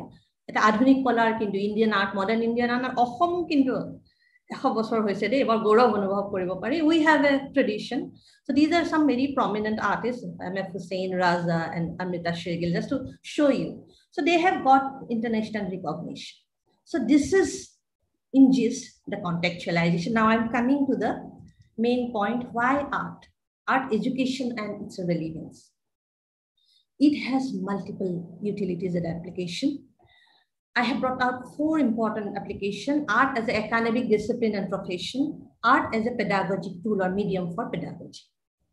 এক ধৰণৰ জীৱিকাৰ ৰূপেও আমি আচলতে যিটো বহুতেই ভাবে এইটো যে অভাৱনীয় সম্ভৱ জানো কিন্তু আচলতে সম্ভৱ সেইটো আৰু আৰ্টক কিন্তু শিক্ষাৰ আহিলা হিচাপে as a tool for pedagogy কৰা হয় আমি ব্যৱহাৰ কৰিব পাৰোঁ। Art as a tool to enhance creativity analytic ability criticality abstract thinking যিটো মই কৈছোঁ ইতিমধ্যে আৰু art as a means of holistic personality development as a therapy as a healing process for trauma এই বিষয়ে বিভিন্ন মেণ্টেল হেল্থৰ কাৰণে যে আৰ্ট কিমান জৰুৰী এই বিষয়ে বিভিন্ন আলোচনা হৈছে। মই ইয়াত সেই প্ৰজেক্টটো যে কালচাৰেল ভেলু প্ৰজেক্টৰ এই দুটা উক্তি মই ইয়াত দিছোঁ আপোনালোকে পঢ়ি ল'ব পাৰে মই পঢ়ি নাযাওঁ। সময়ৰ অভাৱ। কিন্তু যিহেতু কথা এটা উপস্থাপন কৰিলেই নহ'ব তাক সেই আৰ্গুমেণ্টটো we have to substantiate it সেইটো প্ৰতিষ্ঠা কৰিবলৈ মই এই এওঁলোকৰ এই ফাইণ্ডিংবিলাক ইয়াত মই উপস্থাপন কৰিছোঁ যাতে আপোনালোকে নিজেই পঢ়িলে গম পায় যে আৰ্ট এডুকেশ্যনে কি কৈছে। এইখিনি আমি কোৱা কথা নহয় এইখিনি গৱেষণাৰ অন্তত it is these are the research finding after long research by sociologist and any other avenues So creative individual, how they're constantly curious and how they're so important for other engagement. Because engagement in art and art appreciation, হ'ব লাগিব কথা নহয় art এপ্ৰিচিয়েশ্যনটোৱে যথেষ্ট। যিটো আমাৰ mental and cognitive ability কাৰণ এজন শিল্পীৰ যিটো প্ৰক্ৰিয়া সেইটো দুটা ইম্পৰ্টেণ্ট কথা হয়। এটা হ'ল ডিচিজন মেকিং এটা problem solving it is very parallel to any other kind of you know' say in industry or any other avenue so' right answer এটা প্ৰথমতেই বিচাৰি নাপায় আৰ্টিষ্ট এজনে যেতিয়া আঁকে কোনটো দিম কি কৰিম এইটো ৰাইট হ'ব মানে এইটো পাৰ্চপেক্টিভ এইটো ল'ম। গোটেই প্ৰচেছটোত গৈ তেওঁ প্ৰথমতে ডিচিশ্যন মেকিং প্ৰব্লেম চলভিঙত গৈ গৈ গৈ এটা পৰ্যায়ত উপনীত হয়। গতিকে মোৰ প্ৰেক্টিকেল লেভেলত কি হয় এই প্ৰক্ৰিয়াটোৱে যেতিয়া আমি এখন ছবি চাই থাকোঁ সেই আমাৰ সেই flexible thinking self discipline way of looking interpretation এইবিলাক আমাৰ চলি থাকে। সেইটো we unknowingly we are not even conscious of it we apply it in our imaginative and creative thinking in other avenue also. So that is a very important point. Again, মই এই লিষ্টখন এই কাৰণেই দেখুৱাইছো মই এখন মাতি নাযাওঁ তো এইবিলাক যোৱা দুটা দশক last two decade lot of research and projects has been done on the relevance of art in education. So you can see I have uh, included almost 10 you know, finding. It is right from the Guggenheim Museum study to art education partnership, and আৰু ইয়াত এটা কথা best thing about is it neuro education it চায়েন্সৰ art and brain John হপকিনছত হোৱা কথা। So interconnecting যিবিলাক discipline চলি আছে আমি হয়তো নাজানো সেই গোটেই কথাখিনি আপোনালোকে মই এইটো জাষ্ট মেনশ্যন কৰিছোঁ so' that all of you তোমালোকেও যেতিয়া আৰু অকণ ডাঙৰ হ'বা এই কথাবোৰ নিজে নিজে পঢ়িবা তেতিয়া দেখিবা যে আমাৰ এটা অন্তৰ্নিহিত সম্পৰ্ক আছে। আৰু ইয়াৰ দুটা থিয়ৰী মই বহলাই নকওঁ কিন্তু কলাৰ যিটো উপযোগিতা। এডুকেশ্যনৰ মানুহ ইয়াত যদি কোনোবা আছে যদি মই ছাত্ৰ ছাত্ৰীৰ কথা কোৱা নাই শিক্ষক তেওঁলোকে জানিব যে এডুকেশ্যনত লাৰ্ণিঙত এটা দুটা কথা কয় এটা কনষ্ট্ৰাকটিভিজিম থিয়ৰী এটা কানেক্টিভিজিম কনষ্ট্ৰাকটিভিজিম থিয়ৰী এইটো বিশ্বাস কৰে যে লাৰ্ণিং প্ৰচেছ অফ লাৰ্ণিঙত ষ্টুডেণ্টক এই কনষ্ট্ৰাকটিভিষ্ট ৱেটো ল'লে প্ৰক্ৰিয়াটো ল'লে it's better because they believe according to that theory that each individual they construct their knowledge, own knowledge on the basis of their experience. গতিকে সেই কনষ্ট্ৰাকটিভিজিষ্টটো এটিটিউডটো আমি দেখা পাওঁ আৰ্টত ঠিক তেনেকে কানেক্টিভিষ্ট কানেক্টিভিষ্টে ইণ্টাৰ ডিচিপ্লিনাৰী এটা ৱে লয়। যিটো কলাৰ এজন মানুহে ক্ৰিয়েটিভ সেইকাৰণে আচলতে লিঅ'নাৰ্ডো দা ভিঞ্চিয়ে প্ৰথম উৰণ এই স্কেচটো কোনে আঁকিছিলে? উৰাজাহাজৰ। লিঅ'নাৰ্ডো দা ভিঞ্চিয়ে। বডি ডাইছেকশ্যন কোনে কৰি ফুৰিছিলে? আমি মনালিচা অকল লিঅ'নাৰ্ডোৰ সেই কথাটোৱে জানো বহুতে। কিন্তু তেওঁ যে সমানেই এনাটমি আঁকিছিলে গোটেই মেডিকেল বুকৰ এনাটমি তেওঁ গৈ মৰ্গত বহি আঁকিছিলে। তেওঁ কিমান আপোনালোকে তোমালোকে প্লিজ এটাই মই অনুৰোধ কৰিছো কিছুমান জীৱনী পঢ়িবা জীৱনত বহুত প্ৰেৰণা পাবা লিঅ'নাৰ্ডো দা ভিঞ্চ সেইকাৰণে তেওঁক ৰেনেছ পাৰ্চন বুলি কয়। গতিকে এইবিলাক খুব জৰুৰী কথা সেই কানেক্টিভিষ্ট কানেক্টিভিষ্ট তাৰপিছত ভিজুৱেল লিটাৰেচিটো যিমানেই দিন গৈছে দেখা পাইছানে তোমালোকে? এটা অনুভৱ কৰিছানে? তোমালোকে এতিয়া শুই উঠিয়ে যেতিয়া মোবাইলটো হাতত লোৱা প্ৰথমতে মিম এটা দেখা পোৱা। হয়নে? Meme has become very very popular now in popular culture it has almost become a day to day part of my life and meme কোনে ওপৰুৱাকেতো চবেই কৰে। তাৰ যিটো ইনডেথ যদি আমি যাব বিচাৰোঁ এইটো ভিজুৱেল লিটাৰেচি বুলি কয়। এইবিলাক এচেঞ্চিয়েল পাৰ্ট অফ লাৰ্ণিং কিন্তু। এই ভিজুৱেল লিটাৰেচিটো আমাৰ আহিব through art then will be able to apprehend and comprehend this world more also' যেতিয়া আমি আৰ্টক পেডাগজি এটা আৰ্টক এটা পেডাগজিক টুল হিচাপে এটা শিক্ষাৰ আহিলা হিচাপে ব্যৱহাৰ কৰোঁ তেতিয়া আমাৰ দুটা কাম হয়। It challenges the textual hegemony কেৱল কিতাপত পাঠ পাঠ পাঠেই যদি কৰি থাকে কিছুমান কথা সব কথা পাঠেৰে ক'ব নোৱাৰি। আৰ্টক যদি আমি ব্যৱহাৰ কৰোঁ তেতিয়াহ'লে সেইটো খুব সুন্দৰ এটা ফল ফলপ্ৰসূ তাৰ এটা দেখা যায়। কাৰণ লেংগুৱেজে কেতিয়াবা দেখা যায় যে তাক এটা এটা বেৰিয়াৰ আনি দিয়ে হয়নে নহয়? কোনোবা আছে আমি হয়তো ফ্লুৱেণ্টলি ইংৰাজী ক'ব নোৱাৰোঁ আমি অসমীয়া ভাষাত শিকিছোঁ। কিন্তু কলাৰ ভাষা বিশ্বজনীন। গতিকে এডুকেশ্যনৰ পেডাগজিত মোৰ নিজৰ অভিজ্ঞতাৰ পৰা হৈছে কেতিয়াবা এটা স্কেটছে বহুত বুজাই দিয়ে মই এটা উদাহৰণ দিম। উদাহৰণটো আহি আছো। গতিকে এইটো এটা ই চেলেঞ্জেছ এ টেক্সুৱেল হেজিমনি শব্দকেইটা তোমালোকৰ সৰু সৰু কোনোবা আছা যদি ছাত্ৰ ছাত্ৰী ডাঙৰ লাগিব পাৰে কিন্তু এই কথাটো খুব জৰুৰী যে আমি তাক এক আহিলা হিচাপে ব্যৱহাৰ কৰি বেছিকে আমি ভালকে বুজাব পাৰিম। তাৰপিছত আৰু এটা কথা হ'ল যে কলাত যেনেকে এবষ্ট্ৰেক্ট থিংকিং থাকে বিমূৰ্ত ছবি কিছুমান চালে বিমূৰ্ত কিনো কৈছে একো বুজিয়ে নাপায় ৰং কেডালমান আগ কেডালমান মাতি দিছে। কিন্তু যেতিয়া তুমি সেই ছবিখনৰ বিষয়লৈ গভীৰলৈ গৈ থাকিবা সেই এবষ্ট্ৰেক্ট কনচেপ্টটোক এটা ক্ৰিয়েটিভ ফৰ্মলৈ যেতিয়া আমি ৰূপান্তৰ হয় সি আমাৰ লগে লগে মনক উদ্দীপিত কৰে। We can see that and we we can apply it as a pedagogy tool ই খুব সহায়কাৰী হয় আৰু এডুকেশ্যনক বহুতো হিউমেন কৰে। এই ছবিখন মই দেখুৱাব বিচাৰিছোঁ। আমি চবেই জানো ফ্ৰেঞ্চ ৰিভলিউশ্যনৰ কথা কওঁ হিষ্ট্ৰীৰ মানুহে। কিন্তু ফ্ৰেঞ্চ ৰিভলিউশ্যনক যদি এটা ৰূপক হিচাপে এটা এলিগৰি হিচাপে গোটেই কথাখিনি সামৰি এখন ছবিয়ে দেখুৱাইছে ডেলাক্ৰোৱা ডেলাক্ৰোৱা এই ছবি।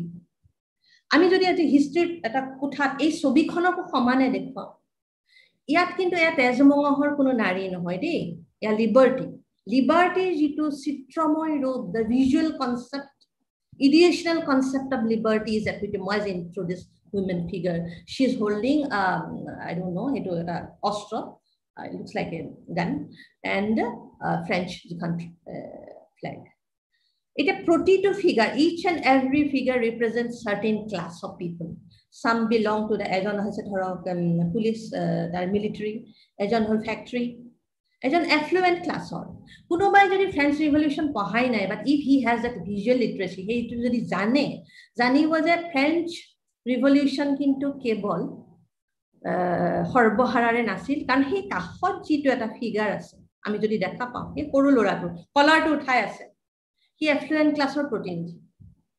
গতিকে এই ছবিখনতে আমি এতিয়া দীপৰ ফাৰ্ডাৰ কৰিবলৈ আমাৰ সময় নাই কিন্তু মই এইকাৰণে উদাহৰণটো দেখালো আৰু এটা কথা লিবাৰ্টিয়ে মূৰত এটা এনেকুৱা টুপি পিন্ধি আছে সেই টুপিটো যেতিয়া বহু যুগৰ আগত ৰোমত দাসত্বৰ পৰম্পৰা আছিল there was in Rome and when the slaves were release they were given those cap সেই কেপটো লিবাৰ্টিয়ে পঢ়ি আছে গতিকে ই ফ্ৰীডমৰ কথা কৈছে।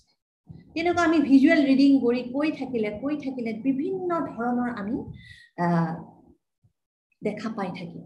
গতিকে it is a very good complementary exercise গতিকে আৰু কেইটামান পইণ্ট ইয়াত আনিছোঁ গোটেইখিনি পঢ়ি নাযাওঁ কিন্তু মাল্টিমিডিয়া আৰ্টক যেতিয়া আমি স্পেচ কৰোঁ ইনক্লুড কৰোঁ মই নিজেও পাইছোঁ যে সেইটো ফিজিকেলি চেলেঞ্জ আমাৰ ক্লাছৰুমত যেতিয়া কিছু থাকে বহুত শিকিব পাৰে।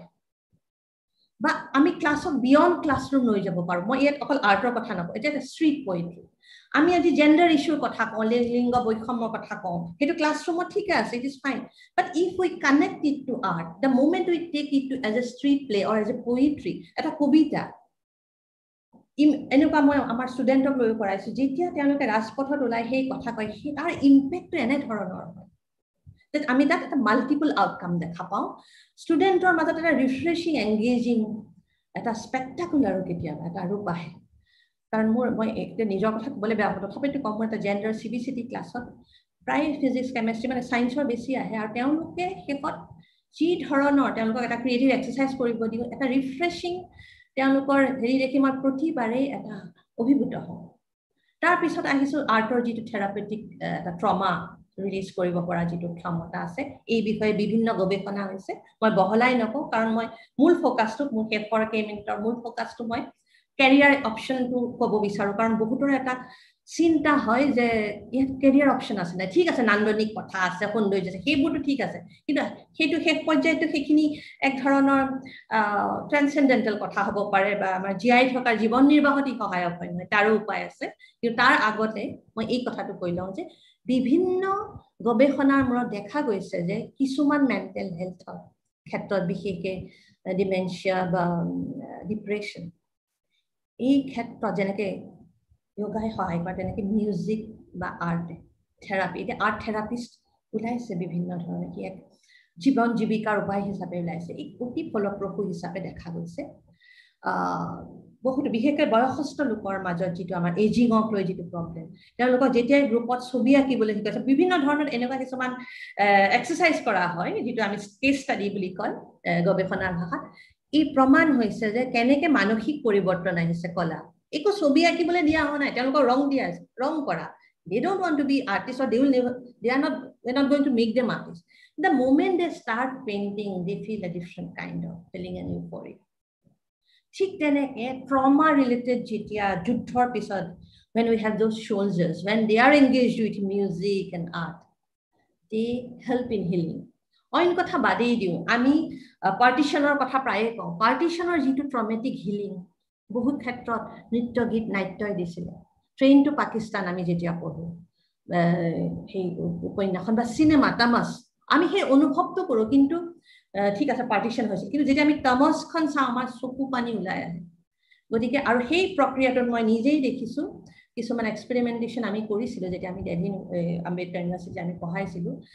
সেই পাৰ্টিশ্যনৰ কিছু ফেমিলিৰ পৰিয়ালৰ কিছু ল'ৰা ছোৱালীয়ে কিছুমান ছবি আঁকিছিল প্ৰাইভেট মিউজিয়াম বুলি তাত তেওঁলোকৰ আইতাকে লৈ অহা লৈ অহা এটুকুৰ কাগজৰ টুকুৰা বা এটুকুৰা বেলনা মাৰি পাকঘৰৰ সেইটোৱে এটা মিউজিয়াম পিছৰ দৰে তেওঁলোকে ব্যৱহাৰ কৰিছিলে because that is something that through to their heart আৰু it becomes an art object so' এনেকুৱা ধৰণৰ কথাও আমি আলোচনা কৰি গৈ থাকিব পাৰোঁ কিন্তু আমাৰ সময় নাই। এতিয়া মই মূল বিষয়লৈ আহিছোঁ। যে কলাক আমি আমি কেনেকৈ জীৱন জীৱিকাৰ উপায় হিচাপে ব্যৱহাৰ কৰিব পাৰোঁ। চ' এতিয়া বিভিন্ন আমি ইয়াত আছে বি এফ এ ডিগ্ৰী আছে এম এফ এ ডিগ্ৰী আছে যিটো গ্ৰেজুৱেশ্যন এণ্ড পষ্ট গ্ৰেজুৱেশ্যন আছে। হায়াৰ ছেকেণ্ডেৰী পাছ কৰাৰ পিছত যাৰ সেই হাত আছে কলাৰ শৈল্পিক দৃষ্টি আছে হাত আছে তেওঁলোকে এই এই বিষয়ে কৰিব পাৰে। Sculpture painting pottery drama music আজিকালি বিভিন্ন ধৰণৰ হৈছে। আৰু এটা কথা যে ইয়াত পপুলাৰিটি আছে প্ৰেষ্টিজ আছে সকলো কথা আছে। কাৰণ এটা কথা মই এইখিনিতে ক'ব বিচাৰোঁ ফাইন আৰ্টিষ্ট হিচাপে আমি বহুতেই ভাবোঁ ন। অৱশ্যে তাৰ কাৰণে আমি চেষ্টা কৰিব লাগিব এটা নিজৰ এটা কলাৰ স্বীকৃতি এটা আহিব লাগিব। সুবোধ গুপ্তা এতিয়া যোৱাকালি এটা মই বাতৰি পঢ়িলোঁ। মই ছাত্ৰ ছাত্ৰীসকলক ক'ব বিচাৰিছোঁ যদি তোমালোকে দিল্লী যোৱা দেখিবা যে এম জি এম এ ন মডাৰ্ণ যিটো গেলেৰী আমাৰ তাৰ সন্মুখত এডাল গছ আছে ষ্টীলেৰে বনোৱা। সুবোধ গুপ্তা নামৰ এজন আৰ্টিষ্টে বনাইছে national gallery of modern art M G M A সেই আৰ্টিষ্টজনৰ আজি টাৰ্ণ অভাৰ মই কোৱা নাই মই পইচাৰ কথা এইকাৰণে আহিছোঁ because it is also need to talk about that তেওঁ turnover annual turnover two hundred forty crore কাৰণ তেওঁৰ এখন এখন ছবি এটা এটা আৰ্ট ৱৰ্কেই চল্ড ইন ক্ৰ'জ গতিকে এইটো নহয় বা আমাৰ অসমৰ পৰা এটা উদাহৰণ দিওঁ অসমৰ সুপ্ৰতিষ্ঠিত আৰ্টিষ্ট গণেশ গোহাঁইৰ আজি শিল্পকলাৰ বহুতো মই বাৰু ফিগাৰটো কৈ নিদিওঁ কিন্তু সুপ্ৰতিষ্ঠিত। আৰু তেওঁ সি এজন শিল্পী হৈয়ে কিন্তু তেওঁ জীৱন নিৰ্বাহ কৰি আছে। তেওঁ ইণ্ডিপেণ্ডেণ্ট আৰ্টিষ্ট তেওঁ কাম কৰিছে আৰু তেওঁ গেলেৰীতে প্ৰদৰ্শন হোৱাৰ পিছত বিক্ৰী কৰিছে। গতিকে যিবিলাক কাম আমি কৰিব পাৰোঁ বি ফাইন আৰু এম ফাইন ডিগ্ৰী কৰি মই এই কথাটো গুৰুত্বপূৰ্ণ কাৰণে মোৰ এই আলোচনাৰ আওতালে আনিলোঁ যে আমি এডভাৰটাইজিং আৰ্ট ডিৰেক্টৰ হ'ব পাৰোঁ আৰ্ট থেৰাপিষ্ট হ'ব পাৰোঁ কমাৰ্চিয়েল আৰ্ট গেলেৰী যিবিলাক আছে তাত আমি এই কাম কৰিব পাৰোঁ। কমিউনিটি আৰ্ট ৱৰ্কাৰৰ ধাৰণাটো অৱশ্যে এতিয়ালৈকে ভাৰতত ইমান অহা নাই কিন্তু বিশ্বত আছে। আৰু বিশ্বখনটো মুকলি এইটো নহয় যে আমি অকল অসম বা ভাৰতৰ কথাই জানো তোমালোকেও কমিউনিটি আৰ্ট ৱৰ্কাৰ হিচাপে বাহিৰতো গৈ প্ৰতিষ্ঠা লাভ কৰিব পাৰা। কনজাৰ্ভেটৰ হিচাপে আছে exhibition designer graphic designer illustrator museum আৰু গেলেৰীত অফিচাৰ প্ৰিণ্ট মেকাৰ স্কুল ইউনিভাৰ্চিটিৰ কথাটো আছেই বাৰু। মই নিজেও আৰ্ট হিষ্ট্ৰী লৈছিলোঁ গতিকে মই সেই একাডেমিক প্ৰফেশ্যনটো বাছি লৈছোঁ। বা অন্যান্য যিটো সেইটো প্ৰথম সেই লিষ্টখনটো একদম ডাইৰেক্ট সেইকেইটা কাম পাৰি আৰু এইকেইটা হ'ল যিটো সহায় হ'ব পাৰে। সেয়া হ'ল animator art administrator concept artist state manager interior designer jewellery designer multimedia programmer gallery curator special effective technician V F X artist এতিয়া যে ভি এফ এক্স গোটেই পৃথিৱীখনতে কেৱল আমি ভি এফ এক্সেই দেখাওঁ যিকোনো বস্তু। হলিউডৰ চিনেমাৰ পৰা কোনে কৰে? এই শিল্পীসকলেই কৰে। গতিকে চাবলৈ গ'লে আমাৰ কাৰণেও এখন যিসকল আৰ্টিষ্টিকেলি অৰিয়েণ্টেড তেওঁলোকে যদি এতিয়া এনেকুৱা ক্ৰিয়েটিভিটি আছে তেওঁলোকৰো কিন্তু বাট আছে। গতিকে নিৰাশ হ'ব নালাগে। যেনে আৰ্ট ষ্টুডিঅ' আৰ্ট ষ্টুডিঅ' হ'ল এনে এটা জেগা য'ত ইণ্টাৰ্ণশ্বিপ কৰিব পাৰি internship you can go' there and learn from establish artist they will enhance your technicality and then you can also' work as assistant Then you have advertising companies. Advertising companies are so popular, and this is a very important, you know, job area where you need artists because they you have to design logos and other things. Then graphic artists, graphic designers are very much in demand nowadays. You have to do design logos, graphic art. Then you have fashion houses. Fashion industry is never going to die. It is becoming popular day by day. In fashion houses also you need artists for various reasons. What I suggest all of you who, who are interested in art, আৰু আজিকালি এটাই ভাল যে Google মাৰিলে আমি দেখা পাওঁ বিভিন্ন ৱেবছাইটো আছে মই এইকাৰণেই দি দিছোঁ যাতে তোমালোকে নোট কৰি পেলাই সেইবোৰ গুগল মাৰিলে পাই যাবা ফেশ্বন হাউচত কেনেকৈ লাগে প্ৰিণ্ট মেকিং প্ৰিণ্ট মেকিং হ'ল প্ৰিণ্টিং হাউচত কালাৰ মেলিপুলেশ্যন আজিকালি প্ৰিণ্টিং ইণ্ডাষ্ট্ৰি কিমান বাঢ়িছে তাত সেই আৰ্টিষ্ট এজন লাগে কিন্তু আমি ফুল ফ্লেজেড কমডিটিটোহে চাওঁ। তাৰ আঁৰৰ যিখিনি কাম কিন্তু আৰ্টিষ্ট এজনে কয় with textual designer then publishing house publishing হাউচত কিতাপ প্ৰকাশ হয় কিন্তু cover design layout illustration কোনে কৰে? গতিকে আৰ্টিষ্টৰ তাতে বহুতখিনি সুবিধা আছে। Then animation is a big thing now everything is animated cinema চলে। গতিকে এনিমেশ্যন আৰ্টিষ্ট তাৰ কাৰণে সেই স্কিলটো লাগিব। If are train in it You don't have to worry. Then you have textile industry, of course. There also you need all this design. Electronic industry, electronic industry, video gaming, and all this, you know, different kind of apps. Electronic industry, যিবিলাক computer science খুব চোকা আৰু লগতে imagination as a creative imagination. It is a wedding of art and technology. So in electronic industry is a big option for you. Then of course, film and theater. Film and theater, when you look at it, it is the final product, but in the process, there are many hundreds of people engaged. তাৰ পিছফালৰ এই designing set ডিজাইনৰ পৰা প্ৰপছৰ পৰা আৰম্ভ কৰি কাপোৰ everything even the visualisation is done by the you know' artist academic of course very common art historian art হিষ্টৰিয়ানৰ কিন্তু you can act as an art analyst দেই। এটা কথা মই ক'লো যে সুবোধ গুপ্তাৰ উদাহৰণ দিয়ে ছবি বিক্ৰী হয়। সেই ছবি যে বিক্ৰী হ'ব কোনখন ছবিৰ মাৰ্কেট ভেলু কি হ'ব? Value এছেচমেণ্টত art হিষ্টৰিয়ানে as an art analyst সহায় কৰে so' along with a curator the gallery also' appoint art historian It's a big thing. Then multimedia artists, of course, one who is who can do everything. I mean, uh, multimedia, beleg beleg dhornor media kam kora manu, and then freelance working. That is also. So now I'm coming to the leading fine art institute of India. যিবিলাকে হয়তো যাৰ হয়তো কোনো ধাৰণা নাই তেওঁলোকে ইয়াৰ লিষ্টখন পঢ়ি ল'ব পাৰা তাৰপিছত আৰামছে বিচাৰিলে ওলাই যাব। চবৰে নিজৰ নিজৰ ৱেবছাইট আছে। এম এছ ইউৰ পৰা আৰম্ভ কৰিছোঁ য'ত মই নিজে পঢ়িছিলোঁ। College of art Delhi university of দিল্লীত আছে J J institute of applied art Mumbai বহুত পুৰণা। অতি পুৰণা বি এইচ ইউ আছে বিশ্বভাৰতী শান্তি নিকেতনৰ কথা আমি চবেই জানো জে এন ইউৰ আৰ্ট এণ্ড এস্থেটিক্স গতিকে মই গোটেইখিনি মানি মাতি নাযাওঁ। কিন্তু এতিয়া লাহে লাহে ভাৰতবৰ্ষতো কিন্তু ঠিক তেনেকৈ এন আই ডি আছে ধৰক নেশ্যনেল ইনষ্টিটিউট অফ ডিজাইন আহমেদাবাদত আছে। নেশ্যনেল ইনষ্টিটিউট অফ ফটোগ্ৰাফী মুম্বাইত আছে। এই গোটেইখিনি কিন্তু বিভিন্ন এভিনিউ অলৰেডি আহিছে আৰু তাৰ ষ্টুডেণ্টে ওলাই গৈ বিভিন্ন ক্ষেত্ৰত সফলভাৱে কাম কৰি আছে। Then I also' that the list is very very long I have just picked up or six most prominent, you know, art institution or globally very reputed. So Royal College of Art, London, বুলি ক'লে এটা বেলেগ ধৰণৰ ভাৱে খুব সুন্দৰ architecture please গুগলত গৈ মাৰিলে খালি তোমালোকে দেখা পাবা তাৰ প্ৰতি ৱেবছাইটত গ'লে গম পাবা Glasgow school of art Ganesh গোহাঁইৰ কথা উল্লেখ কৰিছিলোঁ যে তেওঁ তাতে ৰেচিডেঞ্চি আছিল খুব সুন্দৰ অভিজ্ঞতা।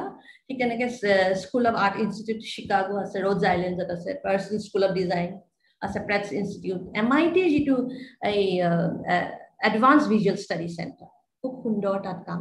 অৱশ্যে অত্যন্ত কম্পিটিশ্যন কিন্তু তাত যদি এবাৰ আৰু কিয় নোৱাৰিব? আমাৰ অসমৰ ল'ৰা ছোৱালী কিয় নোৱাৰিব? নৰ্থ ইষ্টৰ ল'ৰা ছোৱালী কিয় নোৱাৰিব? নিশ্চয় নোৱাৰিব। কেৱল লাগে মনত এটা ইচ্ছা অদম্য ইচ্ছা আৰু ক্ৰিয়েটিভিটি সেইটো হ'লেও আমি কৰিব পাৰিম। শেষত মই সামৰণি মাৰিছোঁ। কেইটামান গ্লিমছৰ মই তেওঁলোকৰ ৱেবছাইটো পালিছোঁ। যাতে কাৰণ কথাখিনি কৈ থাকিলেই নহ'বতো ক্লাছৰুম বা ডিছপ্লে কেনেকুৱা? এটা মই ডিছপ্লে দেখাইছোঁ আমাৰ বৰোদাৰ সেই ষ্টুডেণ্টছৰ ডিছপ্লে এইটো পাৰ্চন স্কুল অফ ডিজাইনত কেনেকুৱা? দেখিলে একদম টেকনিচিয়ান পুৰা কাম কৰি আছে আৰ্টিষ্ট হয়। তেওঁ আৰ্ট বনাই আছে সৃষ্টি কৰি আছে। এইটো সেই চেণ্টাৰ ফৰ এডভান্স ভিজুৱেল ষ্টাডিজৰ এম আই টিৰ এইটো ডিছপ্লে ৰুম সেইটো এটা কাইনেটিক এইটো এই নাইণ্টিজৰ ফটো কাইনেটিক স্কাল্পচাৰ বনাইছে। কেনেকুৱা ধৰণৰ হৈ গৈছে এটা ডিছকাশ্যন চলি আছে আৰু ৰয়েল কলেজ অফ আৰ্টৰ এয়া ডিছপ্লে এনুৱেল ডিছপ্লে কেইটামান মই যাতে মানুহে আইডিয়া পায় যে কেনেকুৱা ধৰণৰ সেইটো দেখালোঁ। মই সামৰণি মাৰিব বিচাৰিছোঁ যথেষ্ট সময় ক'লোঁ কিন্তু ভুৰুকাত হাতী ভৰোৱাৰ দৰে হৈছে কথা বহুত ক'বলৈ আছে। মই সামৰণি মাৰিব বিচাৰিছোঁ অসমৰে কিন্তু এজন শিল্পী আৰু আৰ্ট এডুকেটৰ ভাবিলে আচৰিত লাগে গা শিয়ৰি যায় যে he was an artist and art educator five hundred years back মানে অসমৰ যদি প্ৰথম পেডাগ গ্ৰেটেষ্ট অফ দ্য পেডাগো কওঁ এতিয়াহে এইবোৰ পেডাগজি থিয়ৰি ওলাইছে art theory connectivism and all this constructivism এইবোৰক মানে আৰ্টিকুলেশ্যন নকৰাকৈ কোনোবাই যদি মৰ্মে মৰ্মে বুজি পাইছিল the the great person who understood all this it by some in it you know in was was Srimanta Sankardev I মানে যিমানেই বুজি গৈছো সিমানে আচৰিত লাগে যে আৰ্টিষ্টটো আছিলে বাৰু চিহ্ন যাত্ৰা সেই বৰ্ণনা আছে গুৰুচৰিত বাট হি ৱাজ তেওঁ আছিল বেদান্ত দৰ্শন the philosophy very heavy duty theorization সেইটো কেনেকে সাধাৰণ মানুহক বুজাব? So' he use art as a tool of pedagogy he use each and every art form painting manuscript পেইণ্টিংটো সত্ৰতেই হৈছে। অফক'ৰ্চ দৰঙীয়া ৰজা বা আহোম ৰজাই তাক ৰক্ষণাবেক্ষণ দিছিলে patrons but sattra was the wonder house সেই তাত শিল্পকলা হ'ল। অন্যান্য সেই মাছ চাৰুকাৰু কলাৰ বিভিন্ন ধৰণৰ জাপি মুখা সেয়াটো হ'লেই সংগীত বৰগীত ভাওনা। নৃত্য সত্ৰীয়া নৃত্য কি হাৰা আৰু কম্পজিশ্যন লিটাৰিয়াৰ প্ৰতিটো ভাওনা গতিকে he use all multiple art forms আৰু he was the art educator in true sense তেনে এজন গুৰুজনাক ভক্তি ভাৱেৰে নহয় from the view point of bhakti of course is a different kind of bhakti but religious পইণ্টেৰে কোৱা নাই from education and art point of view, he was the greatest artist and art educator who used as a tool for pedagogy. কিছু মানে অকমান আভাস দিব পাৰিলো। আৰু বাকী মই প্ৰশ্ন থাকিলে এতিয়া পাতিব পাৰো। ধন্যবাদ। ধন্যবাদ ডক্টৰ কণ্ডলী আচলতে কলাক জীৱনৰ পৰা নিলগাই চাব নোৱাৰি। আৰু সেয়ে কলাৰ ইতিহাস অতি বিস্তৃত। আৰু কলাৰ ইতিহাস মানুহৰ জীৱন আৰু জগতৰ সমানেই পুৰণি। আৰু সেই কথাখিনিকে ইমান সুন্দৰকে অতি কম সময়ৰ ভিতৰত আপুনি আমাৰ ছাত্ৰ ছাত্ৰীসকলৰ কাৰণে উপস্থাপন কৰিলে। তাৰ কাৰণে অশেষ ধন্যবাদ। আমি প্ৰশ্নোত্তৰ শিতানলৈ যোৱাৰ ঠিক আগতেই এটা ঘোষণা কৰিব বিচাৰিছোঁ। সেই ঘোষণাটো হ'ল যে আমাৰ পৰৱৰ্তী যিটো অনুষ্ঠান সেইটো হ'ব অক্টোবৰৰ সোতৰ তাৰিখে। আৰু সেই সোতৰ তাৰিখে আমি জাৰ্ণি নামৰ শীৰ্ষক যিটো আমাৰ এটা অনুষ্ঠান আছে পোন্ধৰ মিনিট শিক্ষাৰ সেই অনুষ্ঠানলৈ মাজলৈ লৈ আহিম নীলাক্ষী দেৱী আৰু যুগল চহৰীয়াক। তেওঁলোক দুয়োজনেই গৱেষণাৰ ছাত্ৰ আৰু তেওঁলোকৰ সৈতে আমি কথা পাতিম। পোন্ধৰ মিনিট শিক্ষাৰ শিক্ষাই কথা পাতিব। তেওঁলোকৰ যিটো জাৰ্ণি অসমত আৰম্ভ হোৱাৰ পৰা এতিয়ালৈকে তেওঁলোকৰ যিটো জাৰ্ণি সেই জাৰ্ণিটো সম্পৰ্কে কথা পাতিম। তেওঁলোকে কি বিষয়ত গৱেষণা কৰি আছে? গৱেষণাৰ আগতে তেওঁলোকৰ অসমত কি ধৰণৰ শিক্ষা আছিল? সেই আটাইখিনি কথা ছাত্ৰ ছাত্ৰীসকলৰ আগত তেওঁলোকে উপস্থাপন কৰিব। তাৰ লগতে ছাত্ৰ ছাত্ৰীসকলে তেওঁলোকক প্ৰশ্ন কৰাৰো সুবিধা পাব। এই এইটো আমাৰ ঘোষণা। আকৌ ডক্টৰ কণ্ডলীক আন্তৰিকভাৱে আমি ধন্যবাদ জনাইছো ইমান সুন্দৰকে আটাইখিনি কথা কলা শিক্ষা সম্পৰ্কে কলাৰ ইতিহাস আৰু কলা শিক্ষাৰ প্ৰাসংগিকতা সম্পৰ্কে সুন্দৰকে আমাৰ ছাত্ৰ ছাত্ৰীসকলৰ আগত উপস্থাপন কৰিলে। এতিয়া আহো আমাৰ যিটো প্ৰশ্নোত্তৰ শিতান আছে প্ৰশ্নোত্তৰ শিতানলৈ। আমি যিহেতু তিনিটা প্লেটফৰ্মত লাইভ হৈ আছো। সেইকাৰণে জুমত যিসকল অংশগ্ৰহণকাৰী আছে তেওঁলোকে যদি ডক্টৰ কণ্ডলীক প্ৰশ্ন সুধিব বিচাৰে তেওঁলোকে লাইভ হৈ তেওঁলোকে ভিডিঅ'টো অন কৰি তেওঁলোকে প্ৰশ্ন সুধিব পাৰে। আৰু বাকীকেইটা প্লেটফৰ্ম মানে ফেচবুক আৰু ইউটিউবত যিসকলে অংশ লৈছে তেওঁলোকে তেওঁলোকৰ চেট বক্সত বা কমেণ্ট বক্সত প্ৰশ্নবোৰ সুধিলে আমাৰ মডাৰেটৰসকলে সেই প্ৰশ্নবোৰ ডক্টৰ কণ্ডলীলৈ আগবঢ়াই দিব। আৰু ফেচবুকতো আমাৰ মডাৰেটৰ থাকিব সংঘমিত্ৰা গোস্বামী আছে। তেখেতে প্ৰশ্নবিলাক ডক্টৰ কণ্ডলীলৈ আগবঢ়াই দিব। আৰু ফেচ জুমত থকা যিসকল অংশগ্ৰহণকাৰী তেওঁলোকে পোনপটীয়াকৈ প্ৰশ্নবিলাক সুধিব পাৰিব। গতিকে আমাৰ প্ৰশ্নোত্তৰ শিতানটো আমি আৰম্ভ কৰো। ধন্যবাদ। সংঘমিত্ৰা।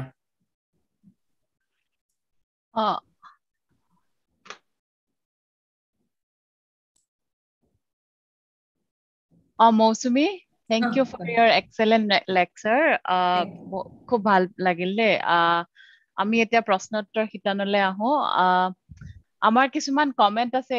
uh, নৱনীতা ডেকাই লিখিছে such a wonderful presentation very interesting topic learn a lot thank you so' much all organize organizers for giving us this opportunity thank you Nabanita and আমাৰ পৱন চহৰীয়া ছাৰ আমাৰ ফিফটিন মিনিট শিক্ষাৰ এজন সদস্য। তেখেতে কৈছে excellent talk this is the first such kind of a talk I have ever attended thank you sir আৰু ধন্যবাদ জনাইছো দেই ছাৰ আমাৰ শিক্ষাগুৰু। Yeah uh, realme uh, there's a question if language creates barrier and art uh, breaks it does elements of art persist in language also? Of course, of course, there is an element of uh, art in language. I mean, can you elaborate the question? I mean, in what sense you asked that? But so really, far I get. Uh, uh. I don't know. Uh, can you unmute and ask? Uh, তুমি Yes, yes. unmute কৰি প্ৰশ্নটো সুধিবা নেকি বাৰু? আৰু অকমান বহলাই দিয়াচোন প্ৰশ্নটো can you just ask it element of art in language এইটোতো আছেই inherent হৈ আছে because we describe art for language only কিন্তু exact কি সুধিছে মানে সেইটো আৰু অকমান ক্লিয়াৰ হলে ভাল হয়। অ, সুধিব পাৰিবা নেকি তুমি? আনমিউট কৰি সুধিলে ভাল হয়। ভিডিঅ'টো যদি অন কৰিব বিচৰা নাই একো নহয়। বাৰু কিন্তু একজেক্ট প্ৰশ্নটো কি আছিলে? আহ, অ কৈছো ৰবা আকৌ কৈছো মই।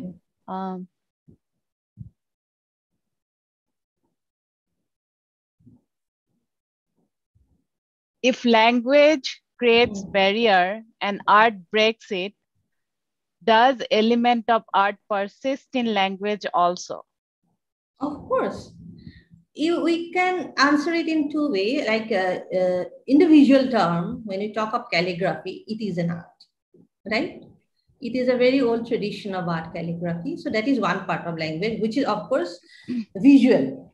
We play with the language which is seen in the visual way, like uh, how to paint the A. And calligraphy has been a very important part uh, of you know Chinese tradition and all the tradition of the world. But if you are asking it in metaphorical term, like you like, do you have the element of art in language also? Of course, there are interconnectivity. Like art has abstract power, abstract thinking. Language also, you know, uh, has that quality. When you read a poetry, especially the modern poetry uh, or the haiku. Forget about modern, why we're so obsessed with modern. I'll say uh, one haiku. The frog jumps into the well. Jap. That's a haiku.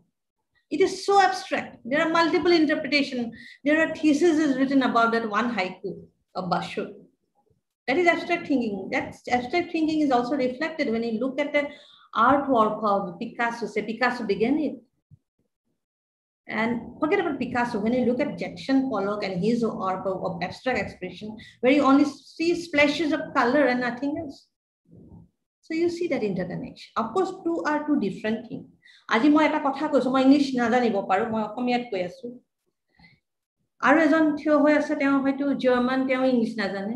কিন্তু আমি যেতিয়া ল' মিউজিয়ামৰ সন্মুখত ৰৈ আছো Mona Lisa চাইছো ইজনে সিজনে চাইছো কিবা এটা কানেক্ট হৈছে। And then when he painted it I could understand okay he was conveying this so' it doesn't matter whether Leonardo was Italian or Van Gogh was Dutch, তেওঁৰ ভাষাটো মই বুজি গ'লো। ভাষাটো কিন্তু তেনেকে অলংকাৰৰ যোগেদি ধ্বনি তত্বৰ যোগেদি আমি সেইবোৰ বুজিব পাৰোঁ। এটা এটা বৰ বিশদ vast it's a very good question also actually but it has a very complex and it's a vast answer I can go on talking I don't think we have enough time for that but of course there are interconnection অন্ত সম্পৰ্ক এটা আছে শিল্পকলা ছবি কবিতা এইবিলাকত। It is are all meeting points at certain points yes Thank you, Mosumi. Uh, আৰু নৱনীতা ডেকাই You have illustrated everything so nicely.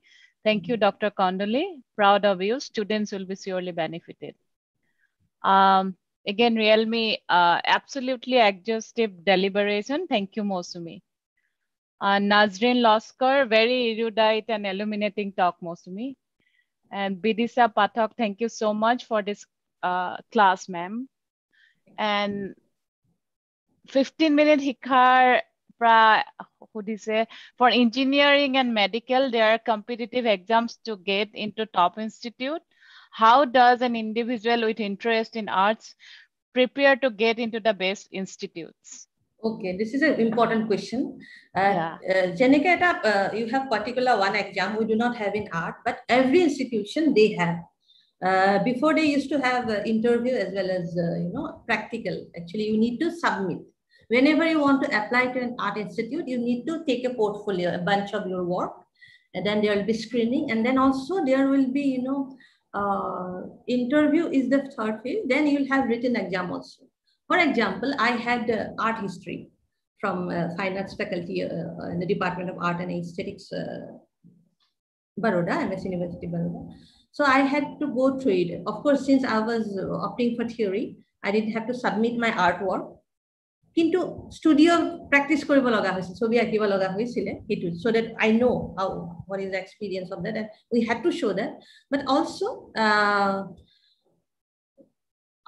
exam like গোটেই তোমাৰ হিষ্ট্ৰীটো জানিব লাগিব এণ্ড দেৰ আৰ চাৰ্টেন লেংগুৱেজটো জানিব লাগিব so' there are then finally you have interview so' yes there are certain ways to apply.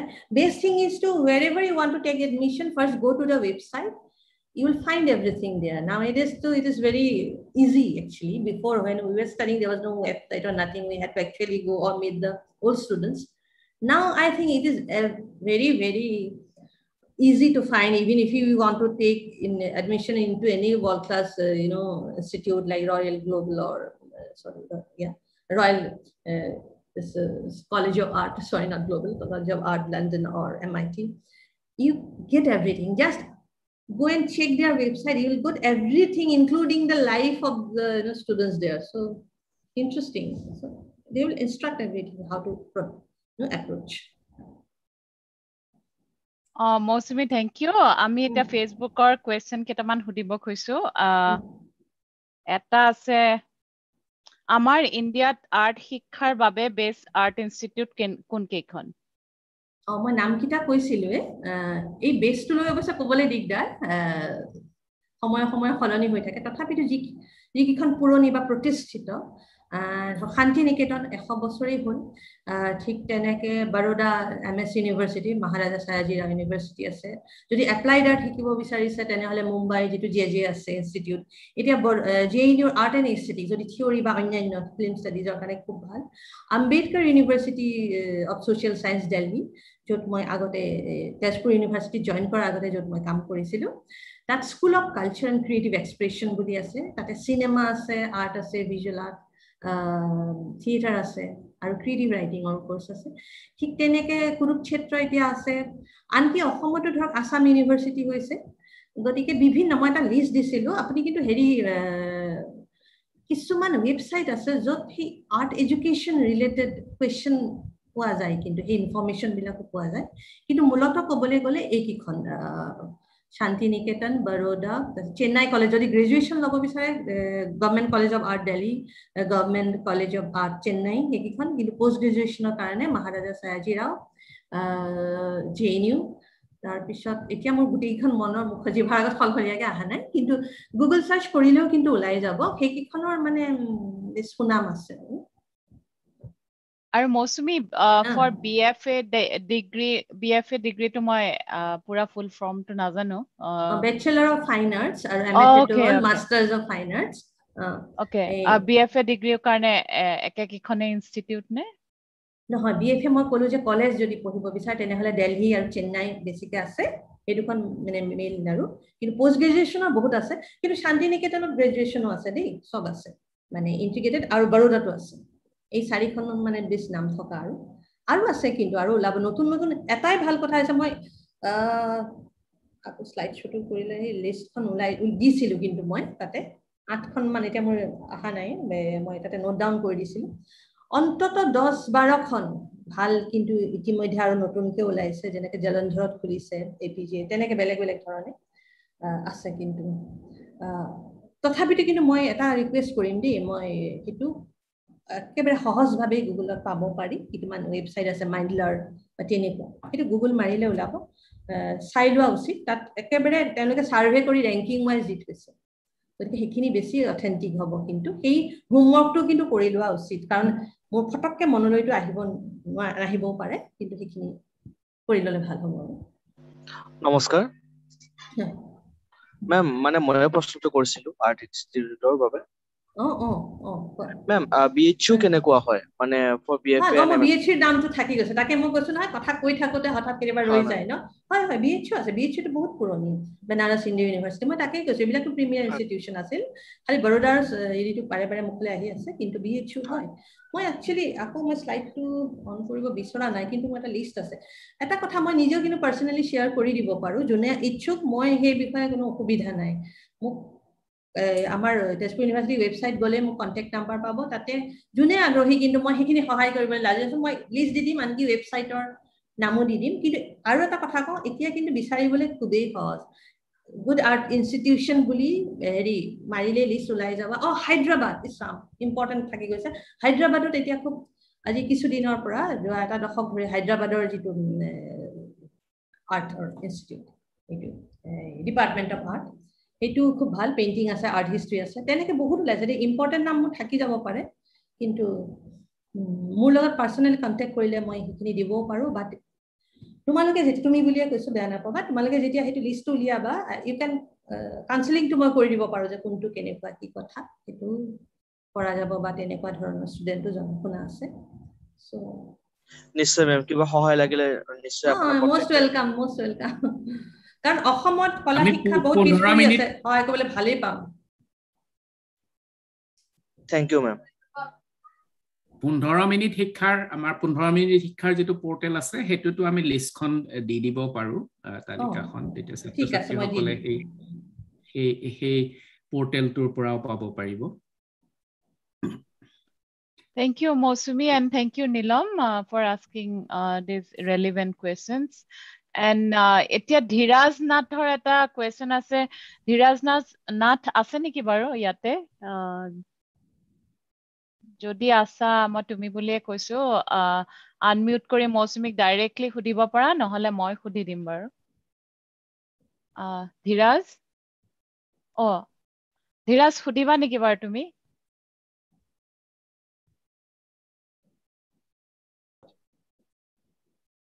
সুধা আনমিউট কৰি লোৱা Ma'am, I'm here, but দেখুৱাই দে Ma'am, you hello, can- ma'am. yeah please Hello, ma'am. yes yes Ma'am. i can hear you uh, uh. Ma'am, uh, uh, okay, for uh, everyone. Uh, so Mhm. I'm Dhiraj Nath, a student of cultural studies, oh Tezpur University. uh-huh. So uh, Hi, it's a Dhiraj. privile- uh, ma'am, it's a privilege privilege for me to join you uh, Thank you, on Dhiraj. on an esteemed platform like uh, 15 minutes Hikka. Mm. Uh, first of all, ma'am, I'd like to thank uh, you for such an insightful session, spanning from the question, what is art, why artists create art, and why art. Uh, ma'am, you talked about art as a pedagogic tool, yes uh, a vantage point for enriching our minds. yes sir. So, ma'am, my question to you uh, uh, is that for an academic like you, ma'am, how Mm. do you feel when we still do not have institutions in our region, uh, Assam particularly, with the discipline of art, uh, art education?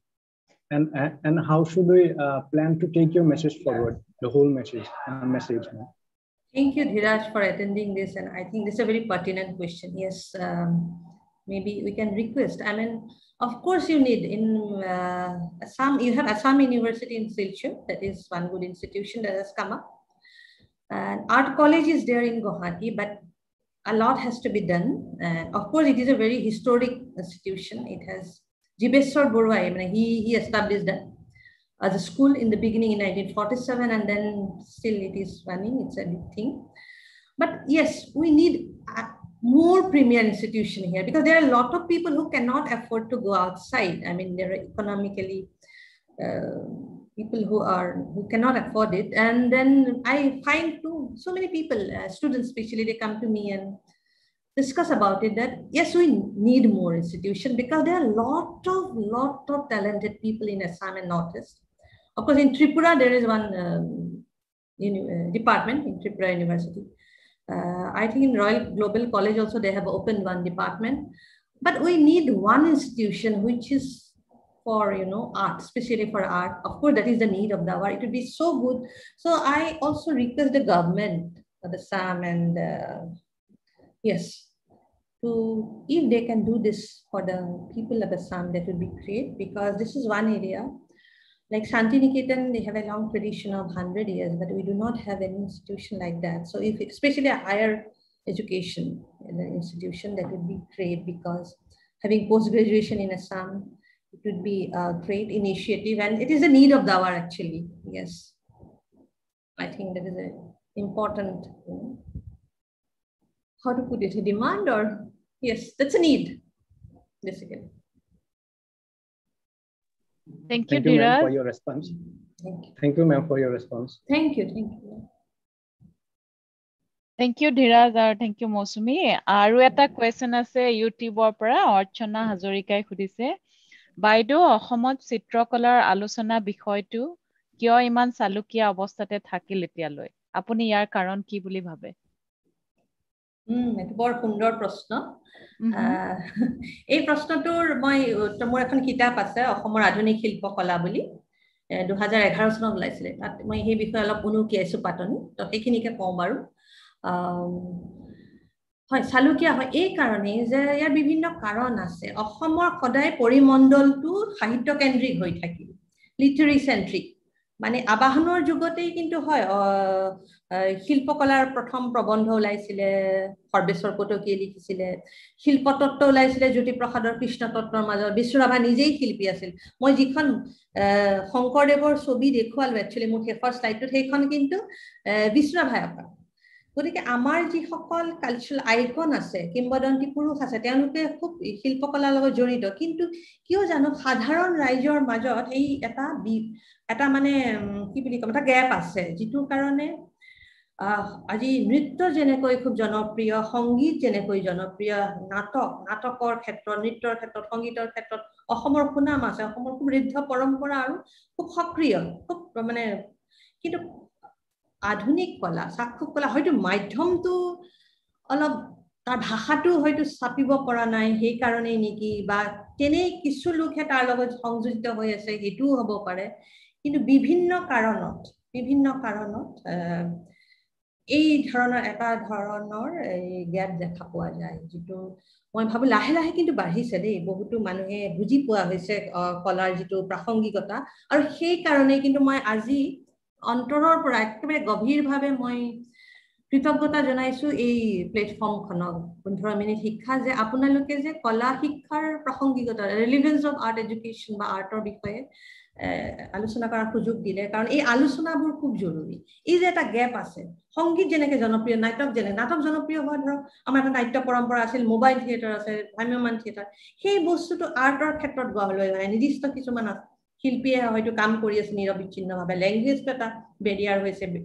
এই কথাবোৰ কিন্তু আজি এনেধৰণৰ যদি আৰু আলোচনা হয় আমি এনেধৰণৰ ঠিক বা আমি ধৰ মিউজিয়ামলৈ যদি যাওঁ আমি আজি গুৱাহাটী আৰ্টিষ্ট গিল্ড আছে আছাম ফাইন আৰ্ট ছ'চাইটি আছে তাত সদায় এক্সিবিশ্যনছবিলাক হৈ থাকে প্ৰদৰ্শনী। মই সকলোকে অনুৰোধ জনাইছো অকল আৰ্টিষ্টসকলকে আমি যদি এই কামবোৰ কৰিবলৈ আৰম্ভ কৰোঁ তেতিয়া লাহে লাহে সেই গেপ নাইকিয়া হ'ব। কিন্তু এটা কথা মই অনুভৱ কৰিছো কটন কলেজত পঢ়ি থকাৰ দিনৰ পৰা এতিয়ালৈকে আগতে কটন কলেজৰ ওচৰতে মিউজিয়াম ষ্টেট গেলেৰীটো আছিলে তাত যেতিয়া যাওঁ হোষ্টেলৰ পৰা সংঘমিত্ৰা বাই জানে অকল দুজনমান মানুহ দেখো কিন্তু এতিয়া ভাল লগা হৈছে যে এতিয়া যেতিয়া গেলেৰীলৈ যাওঁ অন্তত পোন্ধৰ বিশজন মানুহ কেতিয়াবা গিজ গিজাই থাকে সেই আনন্দটো আছে। দুটা দশকত যদি এইখিনি হৈছে ভৱিষ্যতে হ'ব বুলি আশা কৰিছো। কিন্তু ইয়াৰ কাৰণে সকলোৰে কিন্তু লাগিব। Media right from media art institution common people এনেকুৱা প্লেটফৰ্ম সকলোৱে আগবাঢ়ি আহিব লাগিব। সেই হেণ্ড হোল্ডিংটো লাগিব কিন্তু। কাৰণ এইটো অতি গুৰুত্বপূৰ্ণ এটা বাগধাৰা। আৰু এইকাৰণে মই কৈছো দেই মই মানে কথা কবলৈ পাই আচলতে আনন্দিত হৈছো। বেছিকেও কৈছো কিজানি ক্ষমা কৰিব। এটা কথা কিন্তু কওঁ কাৰণ আমাৰ এটা অকল আমি যে মেনুস্ক্ৰিপ পেইণ্টিঙৰ কথা কৈছো সেইটো নহয়। সেয়া আমাৰ ওচৰত প্ৰাপ্ত বস্তু হিচাপে আছে।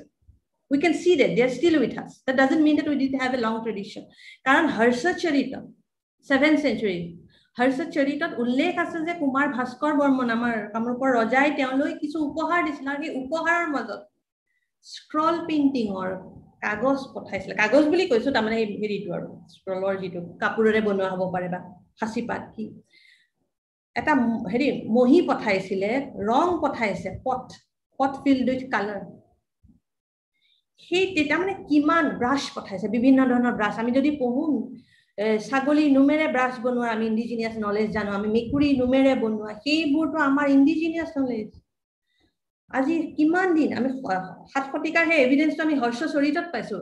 যদি সাত সপ্তম শতিকাত এনেকুৱা এটা ঋদ্ধ পৰম্পৰা হৈছিল যে আমি উপহাৰ দিব পাৰিছিলো সুন্দৰ পাটৰ কাপোৰ দিছো আমি ছবিৰ হেৰি উপহাৰ দিছো হেঙুল হাইতাল পঠাইছো তাৰমানে সেইটো সৃষ্টি হবলৈতো কেইবা শতিকা লাগিব। তাৰমানে কিমান আগৰ পৰা চলি আছিল এই ঋদ্ধ পৰম্পৰাটো? ব্ৰিটিছ অহাৰ পিছত যেতিয়া লেংগুৱেজটো সলনি হ'ল সেইটোৰ কাৰণে নে কি হ'ল? এটা মানে সুতি হৈ গ'ল। এখন প্ৰবাহিত নদী যেন এটা সুতি হৈ গ'ল। সেইটোৱে দুখৰ কথা। এতিয়া আমি সকলোৱে মিলি আকৌ নদী বনা নদী এখন সৃষ্টি কৰিব লাগে সুতিটোৰ পৰা। সেইটোৱে আৰু আশা। থেংক ইউ মৌচুমী। সঁচাকে এইটো বহুত ৰেলিভেণ্ট কুৱেশ্যন আৰু আশা কৰো আমি অসমৰো অসমতো আৰ্ট এডুকেশ্যনটো আগবঢ়াই লৈ যাব পাৰিম।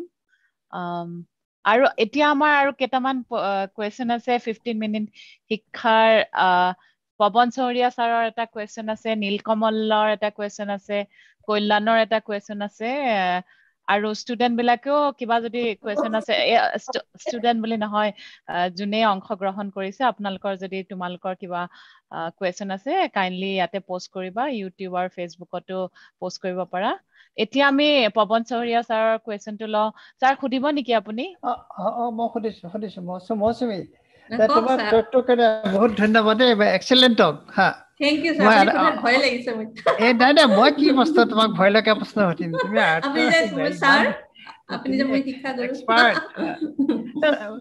মোৰ প্ৰশ্নটো তোমাৰ কাৰণে বিৰাট ট্ৰিভিয়েলে হ'ব হা। তুমি আৰম্ভণিতে উল্লেখ কৰিলা যে দ্য ফিলিং অফ আৰ্ট মানে আৰ্ট ইজ ইউনিভাৰ্চেল নাই আৰ্টৰ ফিলিংটো আমাৰ ইউনিভাৰ্চেল বা সেই গোটেই কনচেপশ্যনটো আমাৰ ইউনিভাৰ্চেল কিন্তু যেতিয়া এটা আমাৰ পিচ অফ আৰ্ট ধৰা মনালিছাই হওক বা যিকোনো পেইণ্টিঙে হওক মানে criticise it ah so' it depends on the subject so' it difference from person to person so' how it can be universal then is it a contradiction বৰ কমপ্লেক্স কুৱেশ্যন নহয় subjective ৰিচেপশ্যনটো বেলেগ কথা কিন্তু আমি মনালিছাক মই এইটো ক্ৰিয়েশ্যনৰ ক্ষেত্ৰৰ পৰা কৈছিলোঁ। মই I I was not talking from the point of view of reception reception can be subjective reception can be locational cultural কাৰণ মই মনালিচাক হয়তো সেইটো অনুভৱ নকৰিব পাৰোঁ এজন ইটালীৰ মানুহে যেনেদৰে অনুভৱ কৰিব পাৰে। মনালিচাতকৈ মোৰ হয়তো চিত্ৰ ভাগৱতৰ কোনোবা এটা প্ৰকল্পই মোক বেছি চুব পাৰে। সেইটো বেলেগ কথা। কিন্তু মই ক্ৰিয়েটিভ ইম্পালছটো কৈছিলোঁ যে যদি ইয়াত আমাৰ চিত্ৰ ভাগৱতখন আমি নিজস্ব ধৰণেৰে আঁকিছোঁ সেই একেই অঁকাটো কিন্তু। যিটো ক্ৰিয়েটিভ ইম্পালছ হয় ক্ৰিয়েশ্যনৰ from the point of view of creation কোনোবাই আন এগৰাকীক নিজস্ব যিটো সাংস্কৃতিকগত বা স্থানীয় লোকজ পৰিকল্পনাৰে কৰিছে কিন্তু প্ৰক্ৰিয়াটো মনলৈ অহা ভাৱ ভংগী বা অনুভূতিখিনি একে সেইকাৰণে সেইটো বিশ্বজনীন। সেইকাৰণে ভাষাটো একে। অলপ তাৰ ৰিডিংটো বেলেগ বেলেগ হ'ব পাৰে। কিন্তু ৰিচেপশ্যনটো ভাষা বা অন্যান্য গুণৰ তুলনাত সেইটো অকল কিন্তু আৰ্টৰ লগতে বোলে এটা গান এটা। আজি এতিয়া এই শ্ৰীলংকাৰ গান এটা ইমানেই হিট হৈছে আমি সকলোৱে জানো আমাৰ ষ্টুডেণ্টসকলে জানিব কি মাগে হিতে।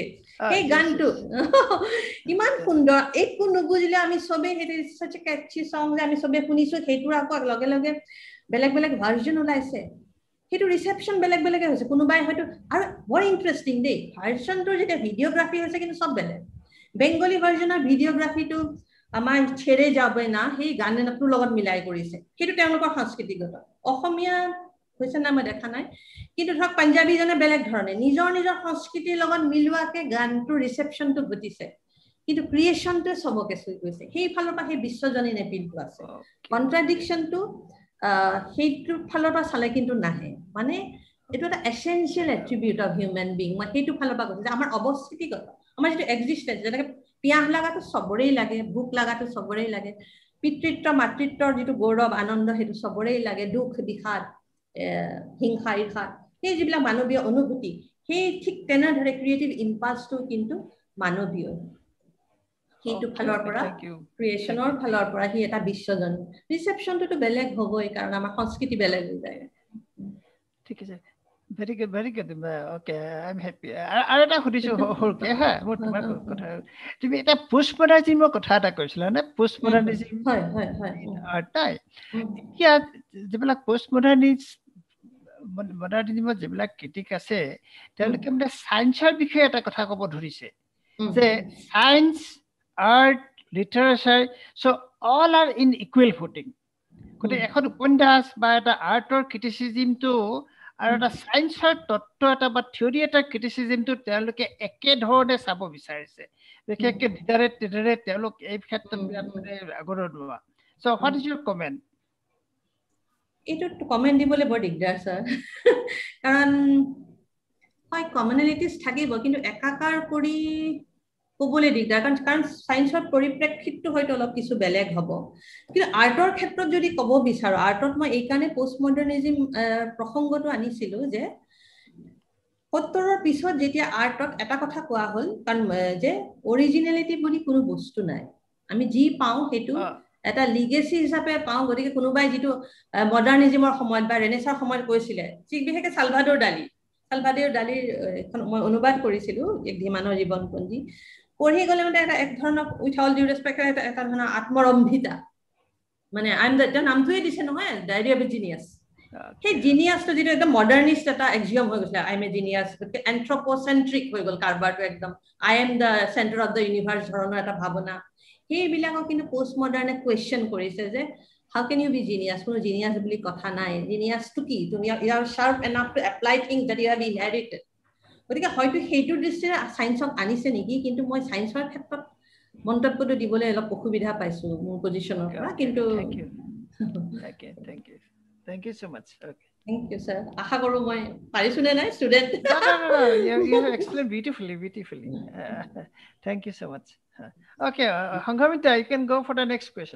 oh, uh, আৰু এটা ধনজিত uh, Nathar question আছে for my network mm. issue. I mm. can speak, but I have a question. So, তেওঁ সুধিছে মই সৰ্বভাৰতী চাৰুকলাৰ পৰা ডিপ্ল'মা কমপ্লিট কৰিছো কিন্তু বহুত গেপ এটা ৰৈ গৈছে can I continue for graduate or extra if i continue how and where i'm confused uh এটো তুমি কি বুলি কৈছিলা এটো বাৰু হে ডিপ্লোমা নেকি অনলাইন ধৰণৰ নেকি বাৰু মই তাৰমানে ডিপ্ল'মা বহুত স্কুল আছে কিন্তু সেইবিলাক আকৌ এটা তাৰ কিন্তু এটা লিমিটেশ্যন আছে দেই। সেইটো কেতিয়াবা কিছুমান চাকৰিৰ ক্ষেত্ৰত বা অন্যান্য ক্ষেত্ৰত সেইটো ৰিকগনাইজ নহয়।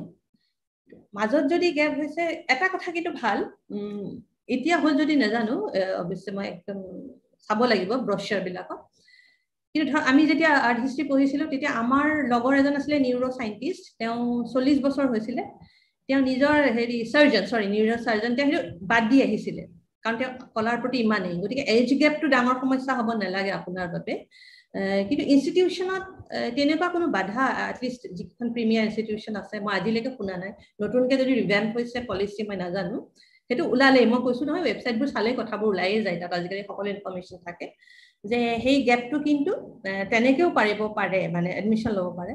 লগতে মই আৰু এটা কথা কওঁ দেই কলাৰ ক্ষেত্ৰত কিন্তু বহুতো চেল্ফ টক আৰ্টিষ্টো আছে। এইটো নহয় যে বিশেষকৈ ইণ্ডিপেণ্ডেণ্ট আৰ্টিষ্ট হ'বলৈ হ'লে কিন্তু কিছুমানৰ ডিগ্ৰীটো লাগে কিন্তু ইণ্ডিপেণ্ডেণ্ট আৰ্টিষ্ট হ'বলৈ বা কলা শিক্ষা দিবলৈ আৰু টিচাৰ হ'বলৈ কিন্তু সেই ডিগ্ৰী বা সেই কোৱালিফিকেশ্যনটো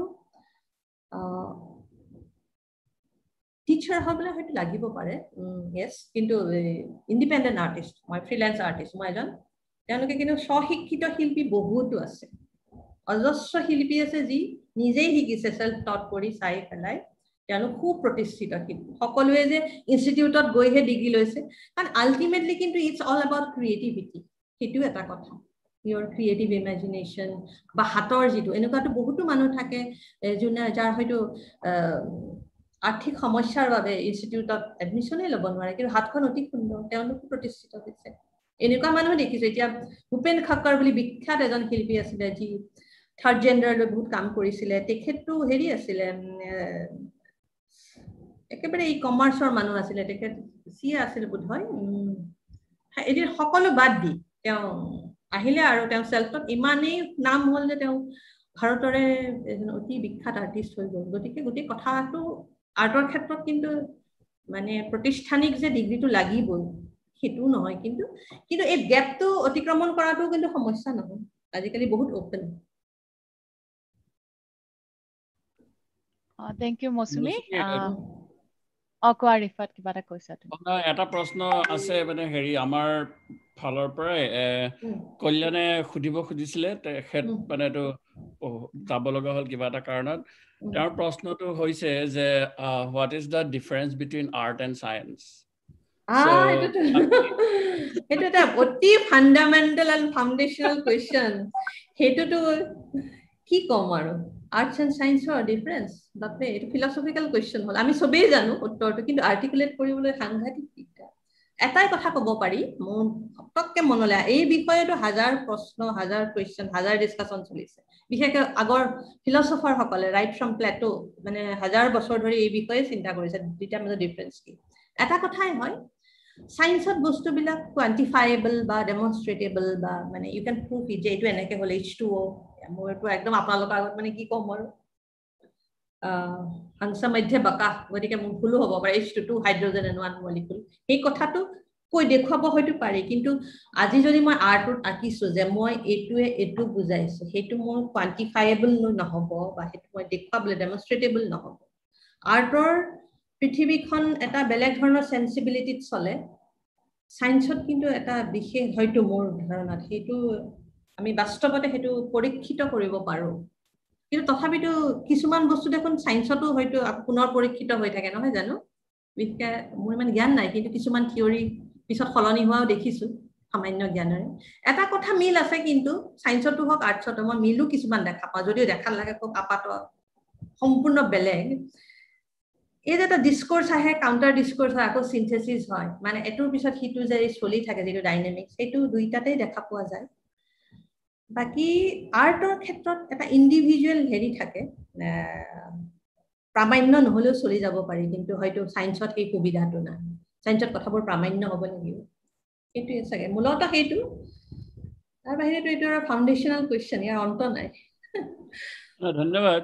আপুনি এটা ভাল উত্তৰ দিছে। ময়ো ধৰক মানে এইটো মই আপুনি এটা কথা ক'লে মই ধৰক নিজে মানে চিকিৎসক বাৰু।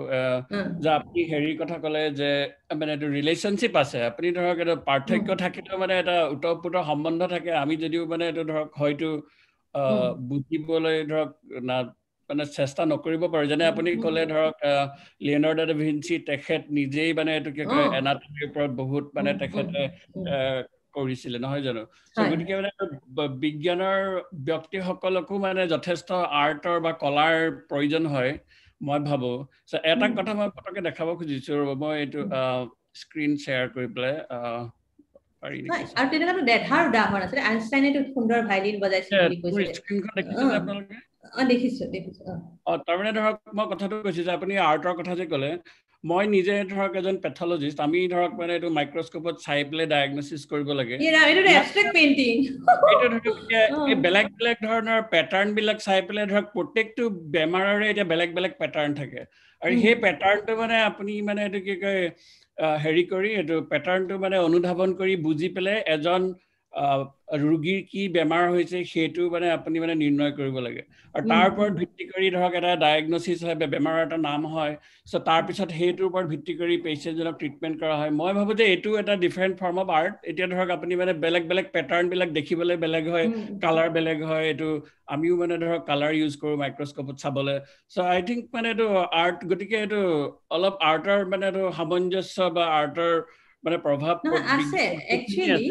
this is also a form of art so' মানে এইটো মানে এইটো কি কয় ধৰক আৰ্টিষ্টিক মন এটা বা আৰ্টিষ্টিক মাইণ্ড এটা থাকিলেহে ধৰক বিজ্ঞানী এজনেও বা না বিজ্ঞানী বুলি কোৱা নাই বিজ্ঞানৰ মানে এইটো চৰ্চা কৰা বা মানে মানুহ এজনৰো মানে যথেষ্টখিনি প্ৰয়োজন আছে বুলি ডেফিনেটলি মই ভাবোঁ। নহয় এটা কথা মই ক'ব পাৰোঁ যে এই এই ধৰণৰ পেটাৰ্ণবোৰ আপুনি যদি এষ্ট্ৰেক্ট এক্সপ্ৰেছন এষ্ট্ৰেক্ট আৰ্টত চাই বিভিন্ন আছে আৰু বহুতো শিল্পীয়ে কিন্তু এই চায়েন্সৰ পৰা বিশেষকৈ ধৰক ইউনিভাৰ্চৰ যিটো ৰূপ সেই ফটোগ্ৰাফী সেইবিলাকৰ পৰা কিন্তু এষ্ট্ৰেক্ট আৰ্টে বিভিন্ন ধৰণে মানে প্ৰভাৱিত হৈছে কিন্তু।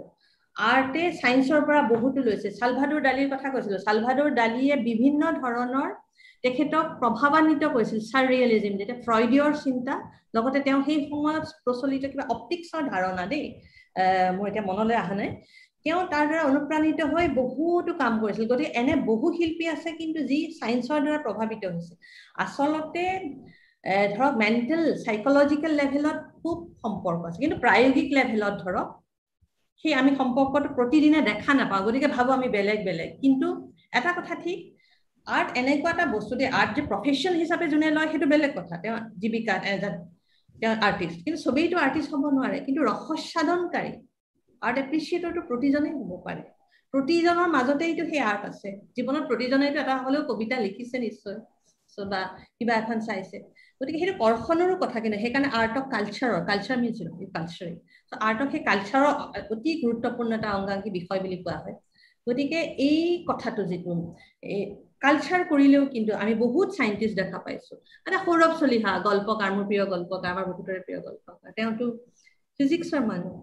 গতিকে যদি লিটাৰী আৰ্টৰ কথা আহোঁ গতিকে এই অন্ত সম্পৰ্কবোৰ পুৰা আছে। আপুনি দেখুৱা পেটাৰ্ণবোৰ দেখিতো মোৰ আচৰিতে লাগি গ'ল কাৰণ এনেকুৱা ধৰণৰ এবষ্ট্ৰেক্ট আৰ্ট বহুত আছে। গতিকে কানেকশ্যনটো আছে। মূল কথাটো হ'ল যে ইউৰ ভিজুৱেলাইজেশ্যন দৃষ্টিৰ যিটো বীক্ষণ বা দৃষ্টিৰ যিটো কাৰবাৰ সেইটোৱে মেইন যাৰ সেই দৃষ্টিটো আছে সি নিজেই পাৰিছে সি নিজেই সেই তাৰ মাজত আৰ্ট দেখা পাব। আৰু এটা পৰ্যায়ত আৰ্ট চায়েন্স একাকাৰ হৈ যায় সেইটো এটা জীৱনবোধ হৈ যায় সৌন্দৰ্যবোধ হৈ যায়। তেতিয়া এস্থেটিক্সৰ আৰম্ভণি ঘটে আচলতে। আৰু মোৰ মোৰ আকৌ এনেকুৱা লাগে যে অলপমান মানে আৰ্টত অলপমান ছাবজেক্টিভিটি এটা আছে যিটো চাইন্সত মানে আমাৰ বস্তুটো এনেকুৱা লাগে যে অলপমান মানে বেছি অবজেক্টিভ বা মানে ইণ্ডিভিজুৱেল ইণ্টাৰপ্ৰিটেশ্যনলে বেছি ৰুম নাথাকে। যদি মানে আমাৰ ইণ্ডিয়াত কোনোবা এজনে কিবা এটা কৰিলে আৰু আমেৰিকাত কিবা এজনে কৰিলে কিন্তু তেনেকুৱা। আৰু এটা লাগে যে আৰ্টছ মানে অলপ বেছি ফ্ৰীডম আছে নেকি আৰ্টত চায়েন্সত অলপ ৰুল কিছুমান আছে মানে কিমান অলপ মানে ৰুলে অলপ বেছি বান্ধি ৰাখে যেন লাগে। অফক'ৰ্চ এইকেইটা বৰ ধুনীয়া পইণ্ট দেই মোৰ মনলৈ অহা নাছিল। হয় অবজেক্টিভিটিটো ছাবজেক্টিভিটি খুব সুন্দৰ এইটো দেই কোনে ক'লে মই ধৰিবই নোৱাৰিলো। মই অনুপমে কৈছো। অ অনুপম অনুপমটো মই অনুপমক কওঁ তুমি এষ্টেটিচিয়ান হ'ব পৰা।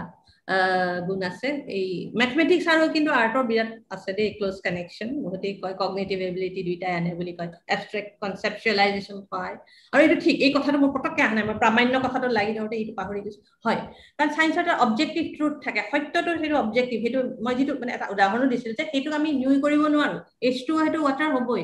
কিন্তু মই আজি এটা পেনটো ধৰিছোঁ পেনটো মই পেন বুলিও ক'ব পাৰিম এজন আৰ্টিষ্টে ক'ব মোৰ কাৰণে এইটো পেন নহয় এইটো মোৰ কাৰণে এটা বেলেগ symbol it is my self assertion গতিকে সেইটো ছাবজেক্টিভ ইণ্টাৰপ্ৰিটেশ্যনৰ বহুত স্কোপ থাকে। সেইটো হয় সেইটো খুব সুন্দৰ আচলতে। মোৰ হয় সুন্দৰকে তুমিয়ে ক'লা। এইটো ভাল কথা কৈছে অনুপমা। একচুৱেলি মানে এইটো শাস্ত্ৰটো subjectivism and objectivism goes hand in hand example এটা দিছো। আপুনি ধৰক চাৰ্জাৰী কাৰোবাৰ ধৰক পেটৰ অসুখ হৈছে তেওঁ এতিয়া এজন চাৰ্জনৰ ওচৰলৈ যাব লাগে ঠিক আছে? তাত মানে এতিয়া ধৰক আপুনি যিজন চাৰ্জনৰ ধৰক বেছি অভিজ্ঞতা আছে সেই চাৰ্জনজনৰ ওচৰলৈ যাব নহয় জানো? কাৰণটো কি ধৰক মানে কাৰোবাৰ যদি কম অভিজ্ঞতা আছে বা তেখেতৰ মানে এইটো ধৰক এই পেটৰ বিষটোৰ দহটা কাৰণ হ'ব পাৰে নহয় জানো? এই কাৰণটো প্ৰত্যেকজন চিকিৎসকে যিটো অনুধাৱন কৰে তাত এটা ছাবজেক্টিভ এটা ইণ্টাৰপ্ৰিটেশ্যন আছে।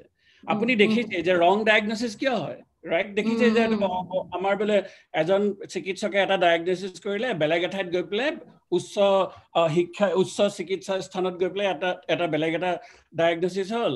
So' what is it that is subjectivism নহয় জানো? কাৰণ প্ৰথম চিকিৎসকজনৰ যিটো ছাবজেক্টিভ অনুধাৱন বেমাৰটোৰ বিষয়ে সেইটো আৰু বেলেগ এজন চিকিৎসকৰ ছাবজেক্টিভ অনুধাৱনটো বেলেগ হ'ল। কিয়?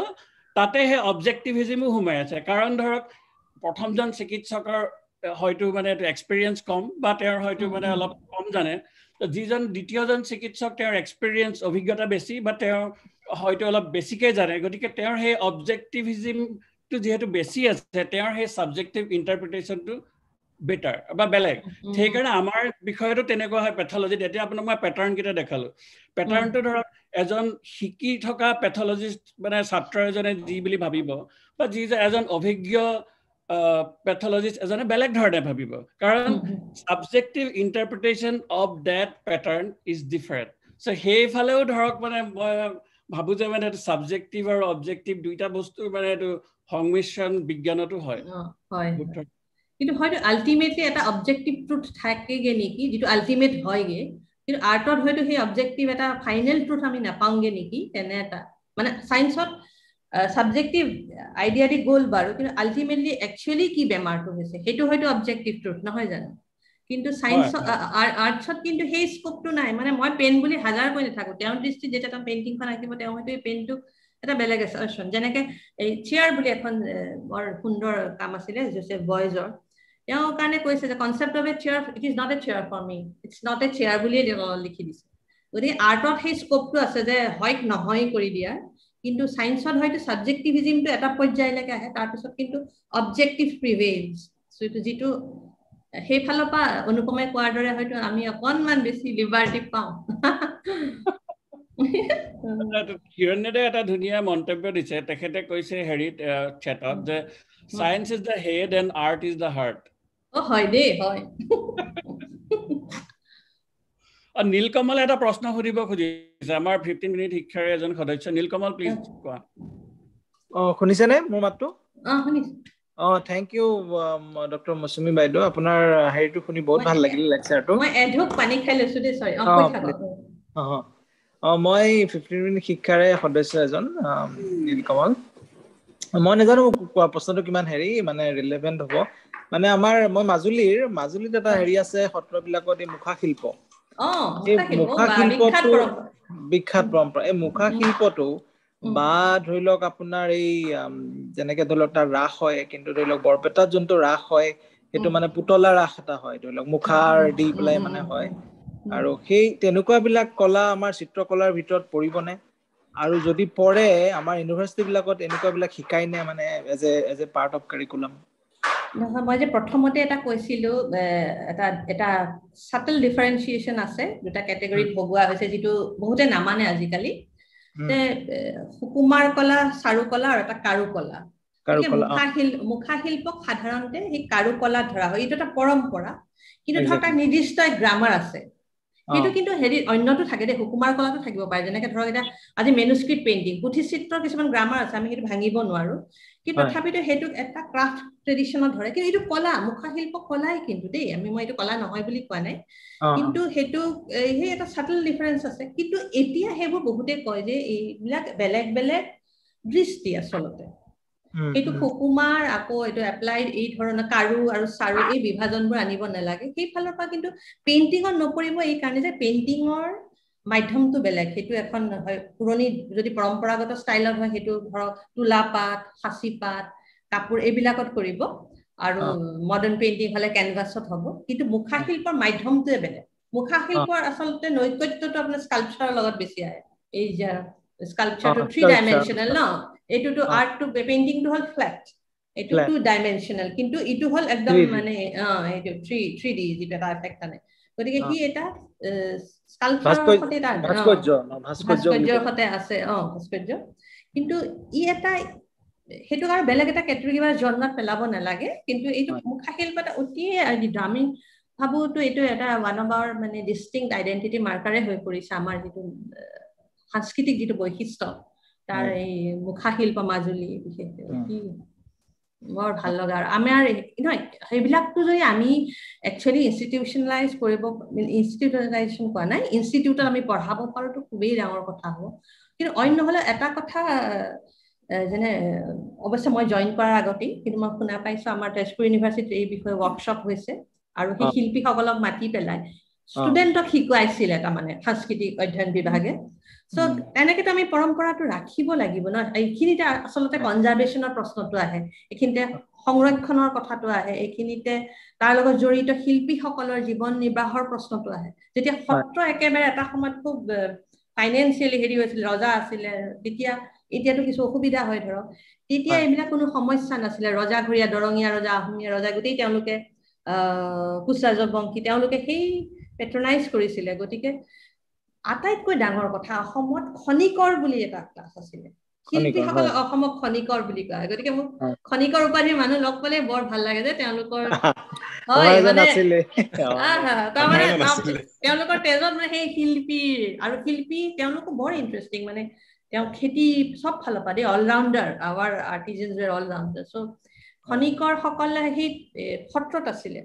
এনেইতো চাৰি মাহ বোলে খাটিব লাগিছিলে আহোম ৰজাৰ তাত কিন্তু মই অৱশ্যে বুৰঞ্জীবিদ নহয় তথাপিতো শুনা মতে সত্ৰত থাকিলে কিন্তু সেই যুদ্ধলৈও যাব নালাগে সেই কেৱল চৰ্চা কৰিব পাৰে।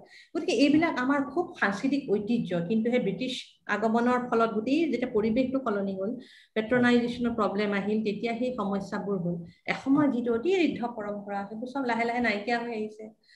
বিভিন্ন কথা আৰু দুখো লাগে কিন্তু এতিয়া কেনেকে ৰিভাইভ কৰে কি কৰে সেইবোৰ ভাবিব হ'ল আৰু। নহয় এইটো আপুনি যে কৈছে মুখা শিল্প ধৰি লওক মানে কি এইটো ফেমিলি বিজনেছ এটাই হৈ আছে। ধৰি লওক যেনেকে চামগুৰি সত্ৰত হেমচন্দ্ৰ গোস্বামীয়ে কৰে তেওঁৰ পৰিয়ালৰ মানুহখিনিয়ে শিকিছে বা তেনেকে কৰিছে কিন্তু সেই ইনষ্টিটিউচনেলাইজ হোৱা নাই বস্তুটো। এইটো মানে ইউনিভাৰ্চিটি বিলাকত যদি শিকোৱা যায় মানে এনেকে চিত্ৰকলাৰ লগতে এনেকুৱা বিলাক কথাও। আচলতে কি জানে এই বিষয়ে গোটেই যিটো আইডিয়াবাদ পেডাগজি আইডিয়াবাদ এডুকেশ্যন সেইবিলাক কিছুমান একেবাৰে মূলভূত সলনি পৰিৱৰ্তন আহিব লাগিব বিশেষকে ভাৰতত। সেইটো বাহিৰত হৈছে বোধহয় আপোনালোকে বেছি জানিব কিন্তু ভাৰতবৰ্ষত আমি সদায় মানে হেৰিকে থৈছো ন? চায়েন্স টেকনলজি আৰ্টছ সেই ইণ্টাৰডিচিপ্লিনেৰী কাৰবাৰটো হোৱা নাই আমাৰ ইণ্টাৰ এটা যে আছে সেই সেই ধৰণৰ এটা নতুন চিন্তাৰ আউট অফ বক্স চিন্তাৰে কৰিলে যে এইখিনি আমি কনজাৰ্ভেশ্যনৰ আণ্ডাৰত ৰাখিব পাৰো নেকি? বহুত ক্ষেত্ৰত দৃষ্টিটো বেলেগ ধৰণে চোৱা হয় ন? বা ফাংচনেলিটিৰ এছপেক্টবোৰেও চোৱা হয় কি হ'ব। বহুত কথা আচলতে আলোচনা কৰিবলৈ অসুবিধাও হয়। কিন্তু সেইটো কাৰণে এটা সম্পূৰ্ণ বেলেগ। এতিয়া এটা কথা আমি এতিয়া গম পাইছো ধৰক সাংস্কৃতিক বিশ্ববিদ্যালয় এখন খুলিব বুলি আগবাঢ়িছে। তাতে যদি এই সকলোখিনি কৰে সেইটো খুব ভালৰ কথা হ'ব। কালচাৰেল ইউনিভাৰ্চিটি যিখন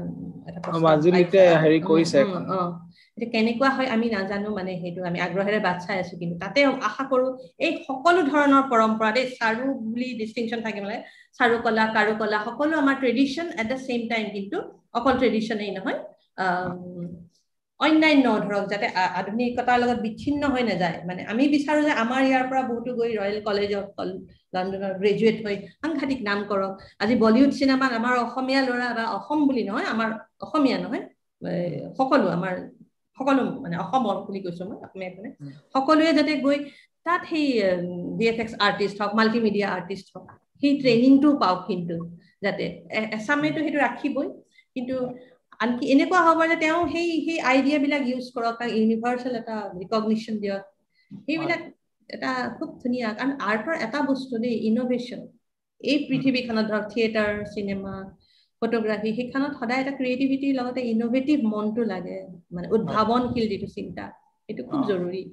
সেই অনাবৰত মানে মগজটো ক্ৰিয়াশীল হৈ থাকিব লাগিব। গতিকে এই কথাখিনি লৈ যদি আগুৱাই যায় দুইটাৰে এটা বেলেঞ্চ কৰি তেনেকুৱা ইনষ্টিটিউচনৰ কথা এজনে কৈছিলে ধৰক আমাৰ ষ্টুডেণ্টে সেইটো খুব জৰুৰী। গতিকে সেই পেডাগজিৰ যিটো আইডিয়াই আমাক সলনি কৰিব লাগিব লাহে ধীৰে।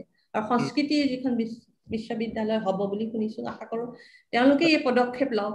আমি খুব আনন্দিত হ'ম। তাকে আমাৰ মানে যোৰহাটত এখন ইনষ্টিটিউশ্যন আছে যে national institute of design N I D তাত এই ভাস্কৰ্য বা ভাস্কৰ্যবিলাক শিকাই বুলি শুনিছো কিন্তু আমাৰ মানে সেইটো অকল নেশ্যনেলিষ্ট এটা ভিউ লৈ শিকাই নে নে আমাৰ অসমৰ লোকেল বিলাকো ইনভলভ কৰে সেইটো গম নাপাওঁ মানে ধৰি লওক এন আই ডি ময়ো মানে অ মই এই আচলতে এনে মই এতিয়া ব্যক্তিগতভাৱে কওঁ মই বহুত দিন আচলতে মই দেলহিৰ সেই আম্বেদকাৰ ইউনিভাৰ্চিটি যিটো স্কুল অফ কালচাৰ উল্লেখ কৰিছো তাতে পঢ়াই আছিলো ভিজুৱেল আৰ্ট আৰু ক্ৰিয়েটিভ গতিকে মই অসমলৈ অহা ধৰক এই হৈছে এতিয়া মই সেই সেই ইনষ্টিটিউটৰ বিষয়ে শুনিছোহে তেওঁলোকৰ চিলেবাছ বা গোটেইখিনি মই মই নিজেও অৱগত নহয় গতিকে মই মন্তব্য দিব নোৱাৰিম। কিন্তু লাহে ধীৰে অকমান এটা আৰম্ভ কৰিম আৰু। মানে অসমত কলা শিক্ষা কেনেকুৱা আৰু সেইটোৰ বিষয়ে যদি এটা অধ্যয়ন কৰো ডেফিনেটলি সেইখিনি দৃষ্টিপাত হব আৰু লাহে ধীৰে। আচলতে কৰোণাও আহি গল নহয়। অসমৰ পিছত দুবছৰ কৰোণাৰ নামতে গৈছে। থেংক ইউ থেংক ইউ কিন্তু আপুনি কোৱা মতে এই যে সুকুমাৰ কলা আৰু আৰু এইটো কি বুলি ক'লে? কাৰু কলা মানে কাৰু কলা চাৰু কলা কাৰু কলা কাৰু কলা কাৰু কলা যদি মিক্স কৰি বস্তুটো কৰিব পৰা যায় interdisciplinary actually very good very good thank you thank you. And uh, Mousumi মই আৰু এটা কথা ক'ব খুজিছো এইখিনিতে ডিজনীত ডিজনী লাইক ডিজনী পাৰ্ক বা ডিজনীৰ যিটো চেনেল ডিজনীত মানে কোম্পানীটো তাত এটা জব আছে সেইটো হৈছে সেই জবটোৰ নামটো হৈছে ইমাজিনিয়াৰ চ' এই ৰাইড বিলাক যে ডিজাইন কৰে চ' সেই ডিজাইন কৰা সেই ইমাজিন তেওঁলোকে ডিজাইন কৰে। সেই ৰাইড বিলাক ডিজাইন কৰা like whatever Disney so সেইবিলাক ইমাজিনিয়াৰ বিলাকৰ qualification not only a computer scientist but they also' have to have very good artistic sense concept artist বুলিও কয় সেইটো কনচেপ্ট আৰ্টিষ্ট বুলিও। তাৰমানে তেওঁলোকে কনচেপ্টটো দিয়ে ডিজাইনটো কৰে। তেওঁ যিকোনো ক্ষেত্ৰত সদায় এটা নতুনত্বৰ চিন্তাৰে লৈ আনে। গতিকে খুব সুন্দৰ তুমি সেই উদাহৰণটো জনাই দিলা। থেংক ইউ অ। মনলৈ অহা নাছিল। মানে ছাত্ৰ ছাত্ৰীসকলৰ কাৰণেও ইমাজিনিয়াৰ ইজ এ ভেৰি মানে very good job and important job and it's a very satisfying job I think মোৰ then that that's what I feel মৌচুমীৰ সংঘমিত্ৰই এটা ভাল কথা ক'লে সেই ইমাজিনিয়াৰ ফৰ মানে এইটো তোমাৰ এইটো ডিজনীলেণ্ড একচুৱেলি মই মোৰ এজন চিকিৎসক শিক্ষক মানে এইটো নিউয়ৰ্কৰ তেখেতক মানে তেখেতটো তেখেত আৰ্টৰ মানুহ নহয় মানে তেওঁ চিকিৎসক। কিন্তু তেওঁক ডিজনীলেণ্ডৰ নতুন মানে থিম পাৰ্কখনৰ ডিজাইন কৰিবলৈ আইডিয়া দিবলৈ তেওঁক মানে এইটো ইনভাইট কৰিছিল আৰু তেওঁ মানে ধৰক নিজৰ ডিজাইন আগবঢ়াইছিল। গতিকে মানে সেই এই ইণ্টাৰ ডিচিপ্লিনেৰী বস্তু এটা আছে। ধৰক কোনোবাই যদি ভালকে ভাবি মানে চিন্তা কৰিব পাৰে বা ডিজাইনৰ কথা ভাবিব পাৰে মানে এইটো বহুত ধৰক বেলেগ বেলেগ ছাত্ৰ বেলেগ বেলেগ দিশৰ ছাত্ৰ ছাত্ৰীও সেইবিলাক কথা ভাবিব পাৰে। ঠিক। হয় হয়। তাৰমানে সেইটোৱে। যিহেতু মই পষ্ট মডাৰ্ণৰ কথা কৈছিলো সেই আইডিয়াটো তত্ত্বটো থাওক কিন্তু যিটো আইডিয়া ধাৰণাটো যে সকলো ইণ্টাৰ ডিচিপ্লিনেৰী আচলতে ক্ৰিয়েটিভ মাইণ্ড কনচেপ্ট আৰ্ট বুলি এটা কথা আছে যে মই আৰ্টিষ্ট হ'বই নালাগে। কনচেপ্ট আৰ্টিষ্টৰ মতে যে মই একচুৱেলি যে এটা আম আঁকিব পাৰিব লাগিব এডাল গছ আঁকিব পাৰিব লাগিব সেইটো নহয়। সেই মোৰ হাতখন নহ'লেও যদি মোৰ মনত আইডিয়াটো আছে। আজিকালি বহুত আৰ্টিষ্ট আছে যোনে ধৰক ডিজিটেল আৰ্ট কৰে বা বস্তু এটা ক্ৰিয়েট কৰিছে।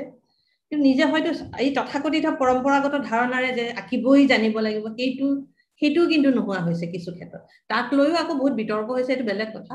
কিন্তু যিটো আপোনালোকে কৈছে ধৰক এই কনচেপ্ট আৰ্টিষ্ট বা ইমেজিনিয়াৰ ইমান ধুনীয়া শব্দটো যে কল্পনাৰে যিটো ক্ৰিয়েট কৰে সেই কনচেপ্ট মানে কনচেপ্ট ইজ দ্য কিং আৰু এতিয়া সেই হাতখন আগতে হাতখনেই মেইন আছিলে এতিয়া মানে হেৰিটো মগজু বা হৃদয়ত যিটো কাৰবাৰ হয় যে বেলেগৰ হাত লৈ with head holding other discipline and department you can গতিকে চায়েন্স এণ্ড টেকনলজিৰ লগত এতিয়া আৰ্টৰ দিনে দিনে আচলতে ইণ্টাৰ কানেকশ্যনটো বাঢ়ি গৈ আছে।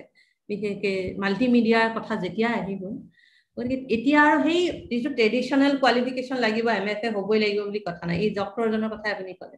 তেওঁৰ সেই কনচেপ্টটো আছে আইডিয়াটো আছে। গতিকে হিজ এন আৰ্টিষ্ট গতিকে তেওঁ সেই ডিজাইন কৰিবলৈ দিয়া হৈছে। গতিকে সেই আচ্ছা মই এটা কথা এনেই সুধিব খুজিছো বাৰু। আচ্ছা যদি কোনোবা এজন মানে চিত্ৰশিল্পী যেনিবা বেছি ট্ৰেইনিং ললে তেওঁ বেছি বেলেগৰ ষ্টাইলৰ পৰা ইনফ্লুৱেঞ্চ হৈ নাযাবনে? মানে এনেকুৱা নহয়নে যে মানে যিজনৰ যিটো তেওঁৰ এটা যিটো স্বকীয়তা বা যিটো সেইটো বেছি ট্ৰেইনিং ল'লে সেইটো হেৰাই যোৱাৰ অৱকাশো থাকে নেকি? যিটো মানে এটা ইণ্ডিভিজুৱেলিটি বা যিটো তেওঁৰ নে বেছি ট্ৰেইনিং ল'লে সেই মানে সেইটো মই জানিব বিচাৰিছো।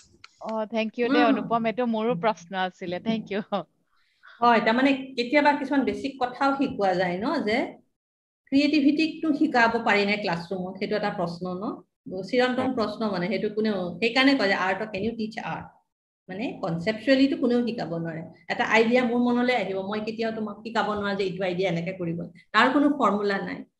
কিন্তু দুটা প্ৰশ্ন খুব সুন্দৰ প্ৰশ্ন এটা হ'ল যে কিছুমান এতিয়া ধৰক স্কাল্পচাৰ এটা তৈয়াৰ কৰা কিছুমান পদ্ধতি আছে। সেই ট্ৰেইনিংটোৱে সেই পদ্ধতিটোক সহায় কৰে যে এইটোৰ লগত সেইটো কিছুমান টেকনিকেল এছপেক্টটো আছে কিন্তু আৰ্টটো অকল ইমেজিনেশ্যনেৰে নহয় যদি আমি পৰম্পৰাগত যিটো পেইণ্টিঙৰ কথা কওঁ নহয় যে কেনভাছটোত এনেকে ৰংটো মিলাব লাগে এইটো এই কিছুমান টেকনিকেল এছপেক্টটো আছে। আৰু যেতিয়া ক্লাছৰুমত সেইবোৰ দেখুওৱা হয় হয় কিছুমানে বহু ক্ষেত্ৰত হয় এটা নিজস্ব ইডিয়ম বিচাৰিবলৈ বহুত সময় লাগে। কেতিয়াবা ক্ৰিয়েটিভিটিটো নিজৰ আঁতৰি যায় হয়। কিন্তু যিজন প্ৰকৃত শিল্পী তেওঁ সেই ফেজবোৰ অতিক্ৰম কৰিও কিন্তু নিজৰ এটা ইডিয়ম বা নিজৰ এটা লেংগুৱেজত উপনীত হ'ব পাৰে। এইটো হয় এই সম্ভাৱনাটো থাকে। সেইটো আমি কিন্তু মই অসমৰ পৰা উদাহৰণ দিওঁ দেই। নীল পৱন বৰুৱা বা আমি শোভা ব্ৰহ্ম যিখন অসমৰ প্ৰতিষ্ঠিত আধুনিক শিল্পী তেওঁলোকৰ যদি আমি চাওঁ প্ৰতিজনৰে প্ৰায় আৰু কেইজনমান আছে। প্ৰথমতে খুব কিউবিজিমৰ দ্বাৰা এটা কিউবিজ ধৰণৰ ভাৱ আছে। বা হেমন্ত মিশ্ৰ। তেওঁলোকে সেই ফেজ এটা এটা দেখা পাইছো মই যেতিয়া এই মোৰ থেচিছখন লিখিছিলো বা কিতাপখন উলিয়াইছিলো। তাৰপিছত কিন্তু তেতিয়া মানে সুস্পষ্ট যে সেই আছে এটা পাশ্চাত্যৰ প্ৰভাৱ কিন্তু লাহে লাহে মই নীল পৱন বৰাৰ উদাহৰণেই কওঁ কাৰণ তেখেতৰ মিউজিয়াম এটা আমি তেজপুৰ ইউনিভাৰ্চিটিত কৰিছো মই কিউৰেট কৰি আছো কৰিছো। হৈ গ'ল উন্মোচন কৰিবলৈ বাকী আছে।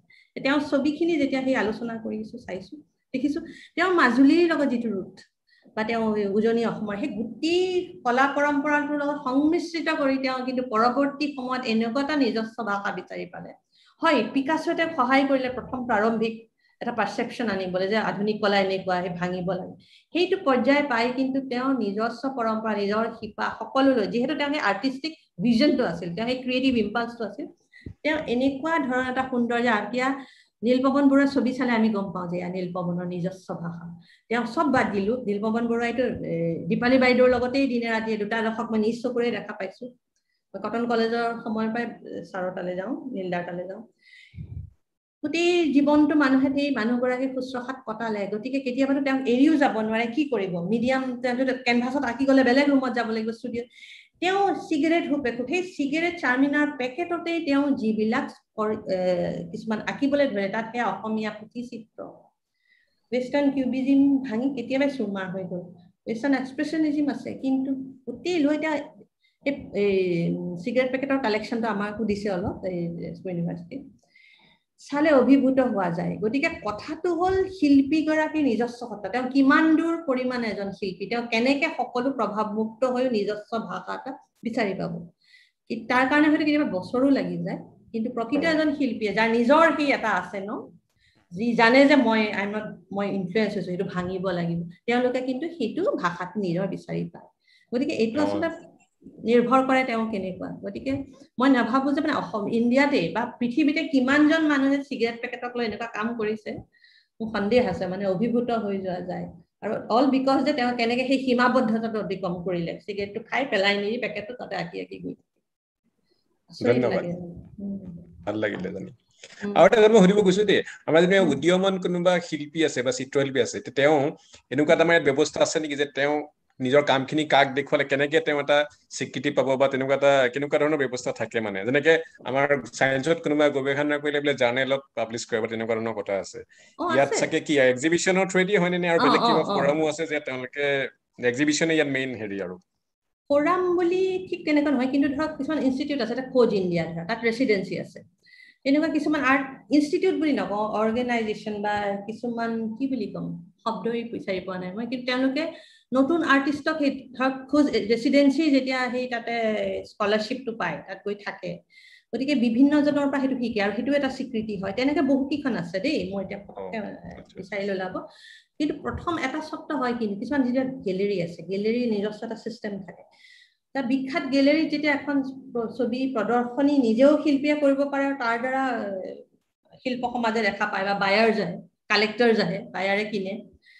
আৰু আছে যে যেতিয়া কলা সমালোচক বা কিউৰেটৰে অন্তৰ্ভুক্ত কৰে। আজি ধৰক বিখ্যাত সীমা গেলেৰীতে বা কোনোবা বেলেগ গেলেৰীতে দেলহিৰ যিখন ধৰক এন জি এম এ যিটো গেলেৰীত আছে মিউজিয়ামৰ গেলেৰী তাতে যদি এজন বিখ্যাত চিত্ৰ কৰে চৰি আৰ্ট হিষ্টৰিয়ান বা কিউৰেটৰে যেতিয়া শিল্পীসকলক লৈ পেলাই এখন প্ৰদৰ্শনী কৰে সেইটো এটা তেওঁৰ স্বীকৃতি। গতিকে সেইটো মানে প্ৰদৰ্শনীটো আচলতে মূল যে তেওঁ এনুৱেল কিছুমান যেনে এতিয়া কোচি বিনালে বুলি কয় কোচিত এটা বছৰৰ মূৰে মূৰে দুবছৰ মূৰে মূৰে এটা বিখ্যাত এটা মানে ইভেণ্ট হয়।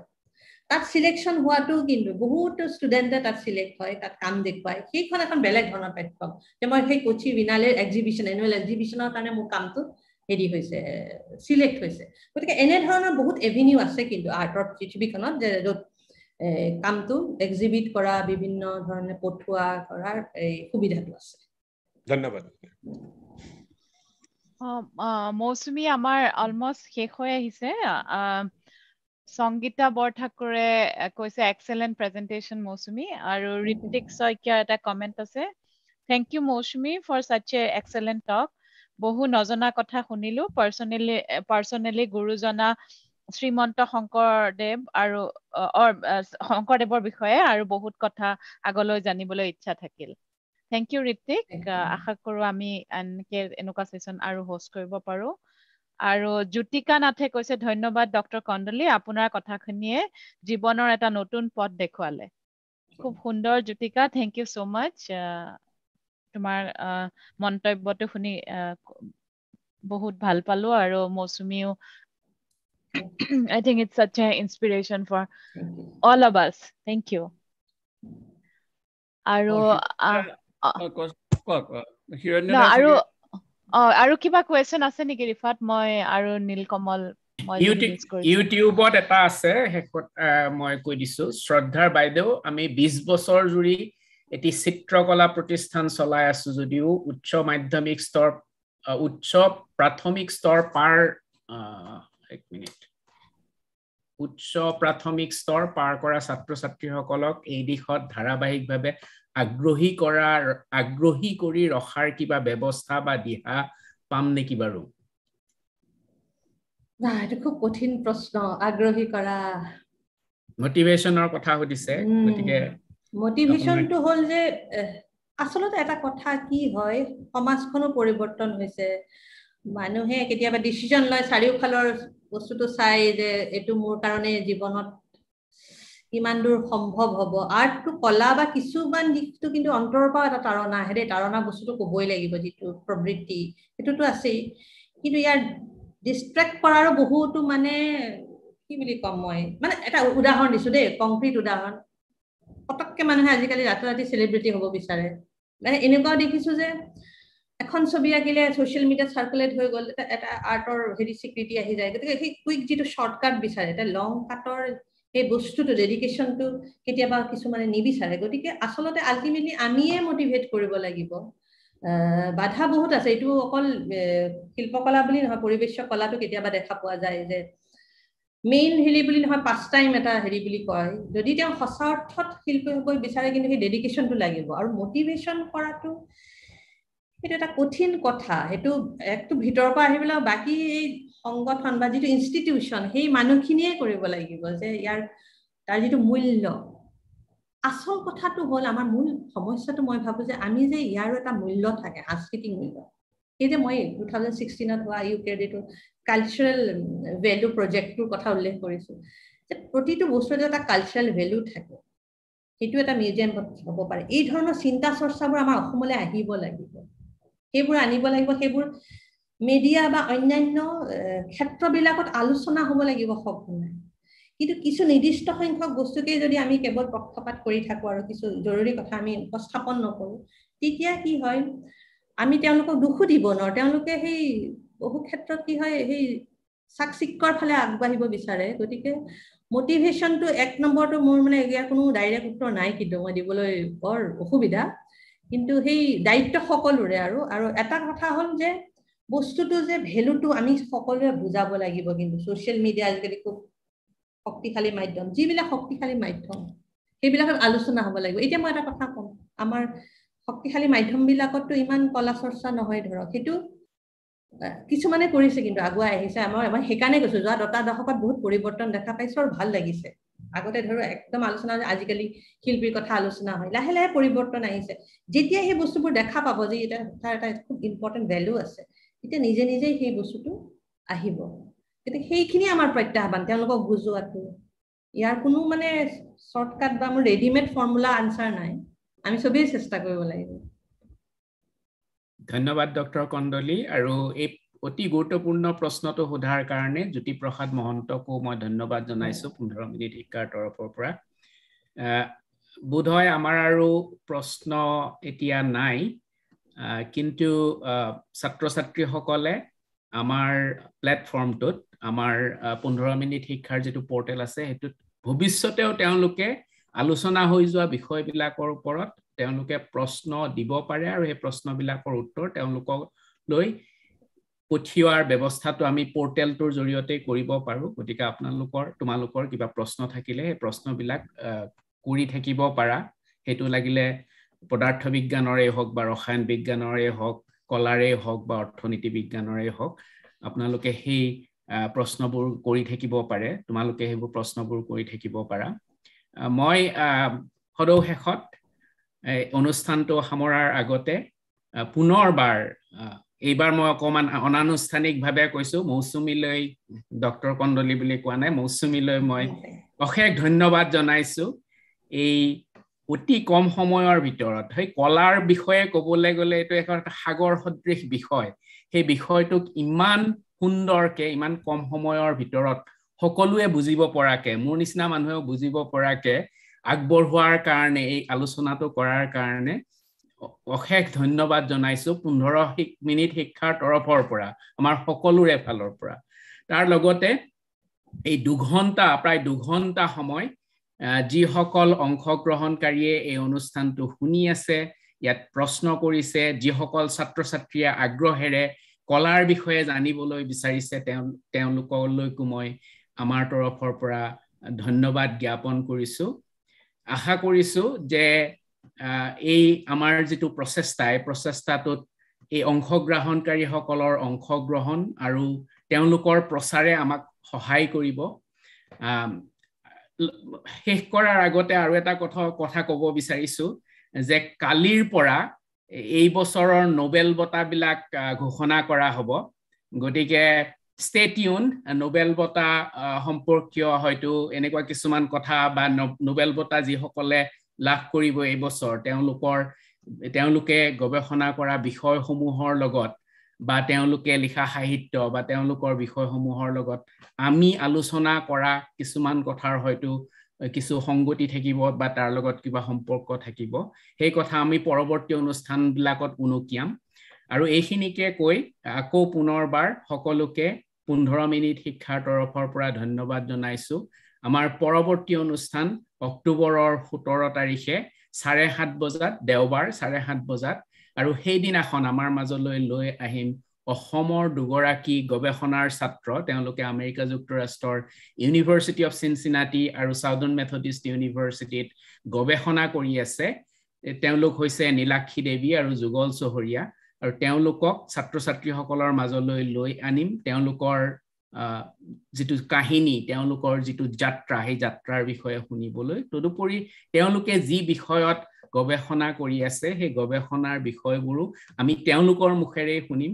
কাৰণ আমাৰ এটা সমস্যা আছে অসমত যে আমি কিছুমান বিষয় পঢ়ো কেতিয়াবা গণিত পঢ়ো বা ইংৰাজী পঢ়ো বা অসমীয়া পঢ়ো বা অৰ্থনীতি পঢ়ো বা পদাৰ্থ বিজ্ঞান পঢ়ো। কিন্তু সেইবোৰ বিষয় পঢ়িও যে আমি আন কিছুমান কাম কৰিব পাৰোঁ। পৃথিৱীত আজিকালি ইণ্টাৰডিচিপ্লিনাৰী বহুত এনেকুৱা ফিল্ড আছে যিবিলাক ফিল্ডত খুব এক্সাইটিং কাম কিছুমান হৈ আছে। এতিয়া আজি কলাৰ প্ৰসংগটো ওলাওঁতে মই এটা কথা মনত পৰিছে যে ষ্টিভ জব আমি এতিয়া চবেই এটা এপল ফোন আইফোন এটা থাকিলে আমি আমি মানে গৰ্ববোধ কৰোঁ যে মোৰ আইফোন আছে আৰু চবেই আমি দেখুৱাওঁ আচলতে আইফোনটোৰ আঁৰত যিজন মানুহ যিজন মানুহৰ কাৰণে আজি আইফোন আইফোন সেইজন হৈছে ষ্টিভ জব। ষ্টিভ জবে আচলতে তেওঁ আৰ্ট অধ্যয়ন কৰিছিল। তেওঁ যেতিয়া কলেজীয়া জীৱনত কলেজীয়া শিক্ষা তেওঁ সাং নকৰিলে সেইখিনি সময়ত কিন্তু তেওঁ আৰ্ট পঢ়িছিল হি ৱাজ এন আৰ্টিষ্ট আৰু তাৰ আৰ্ট সম্পৰ্কে তেওঁ বিভিন্ন ধৰণৰ তেওঁৰ লিখা মেলা বা তেওঁ কোৱা কথা কিছুমান গুগল চাৰ্চ কৰিলেই পোৱা যায়। সেইবোৰ কথা মই ছাত্ৰ ছাত্ৰীসকলক পঢ়িবলৈ কওঁ। আৰু এটা বিষয় ওলোৱা নাই আমি আমাৰ আজিৰ আলোচনাটোত সেইটো হৈছে যে গুৱাহাটী প্ৰযুক্তিবিদ্যা প্ৰতিষ্ঠান মানে যিটো ইণ্ডিয়ান ভাৰতীয় প্ৰযুক্তিবিদ্যা প্ৰতিষ্ঠান গুৱাহাটী তাত এটা কিন্তু ডিপাৰ্টমেণ্ট অফ ডিজাইন বুলি এটা ডিপাৰ্টমেণ্ট আছে। সেই ডিপাৰ্টমেণ্ট সেই ডিপাৰ্টমেণ্টটোতো কিন্তু আৰ্টৰ মানুহ মানুহে কাম কৰে আৰু আজিৰ যুগত আচলতে সেইটো যদিও আমাৰ যিটো পিয়ৰ আৰ্ট সেইটো মই পিয়ৰ আৰ্ট বুলি কোৱাটো বোধহয় ভুল কথা। কিন্তু তথাপিও আৰ্টৰ যিবোৰ ব্যৱহাৰিক প্ৰয়োগ আছে সেইবিলাকত যেনে ধৰা এটা চাবোনৰ ডিজাইন কৰিব লাগে বা এটা ফাৰ্ণিচাৰ ডিজাইন কৰিব লাগে এখন গাড়ীৰ ডিজাইন কৰিব লাগে সেই যিটো প্ৰডাক্ট ডিজাইন প্ৰডাক্ট ডিজাইনটো এটা খুব ডাঙৰ বিষয় বা সেইটো খুব ভালদৰে কৰিলে সেইটোৱে আচলতে খুব ভাল কিছুমান বৃত্তি কাৰণে ল'ৰা ছোৱালীক প্ৰস্তুত কৰিব পাৰে ছাত্ৰ ছাত্ৰীক প্ৰস্তুত কৰিব পাৰে। গতিকে সেই কথাটো উনুকিয়াই থলো যে আচলতে অসমত বাকীবিলাক অনুষ্ঠানৰ লগতে গুৱাহাটী যিখন আই আই টি আমি আই আই টি বুলি ক'লে ইঞ্জিনিয়াৰিং কলেজ বুলি ভাবো কিন্তু আই আই টিৰ ভিতৰতো কিন্তু এই ডিপাৰ্টমেণ্ট অফ ডিজাইনটো আছে। আৰু লগতে আমাৰ হিউমেনিটিজ এণ্ড ছ'চিয়েল ছায়েন্স বিভাগটোতো বিভিন্নজনে আৰ্ট সম্পৰ্কে কিছুমান গৱেষণা কৰে বা তেওঁলোকে লিখা মেলা কৰে। গতিকে আমাৰ সীমিত আমাৰ আৰু লাগে আৰু অসমৰ আমাৰ অসম বা উত্তৰ পূৰ্বাঞ্চল আমি ইমান বৰ্ণাঢ্য আমাৰ ইমান বেছি ইমান প্ৰাচুৰ্যময় আমাৰ এটা কলা বিষয়ক আমাৰ এটা ইতিহাস আছে তাৰ ভিত্তিত আমাৰ আৰু অনুষ্ঠান প্ৰতিষ্ঠান লাগে আৰু চৰ্চা তাত হ'ব লাগে।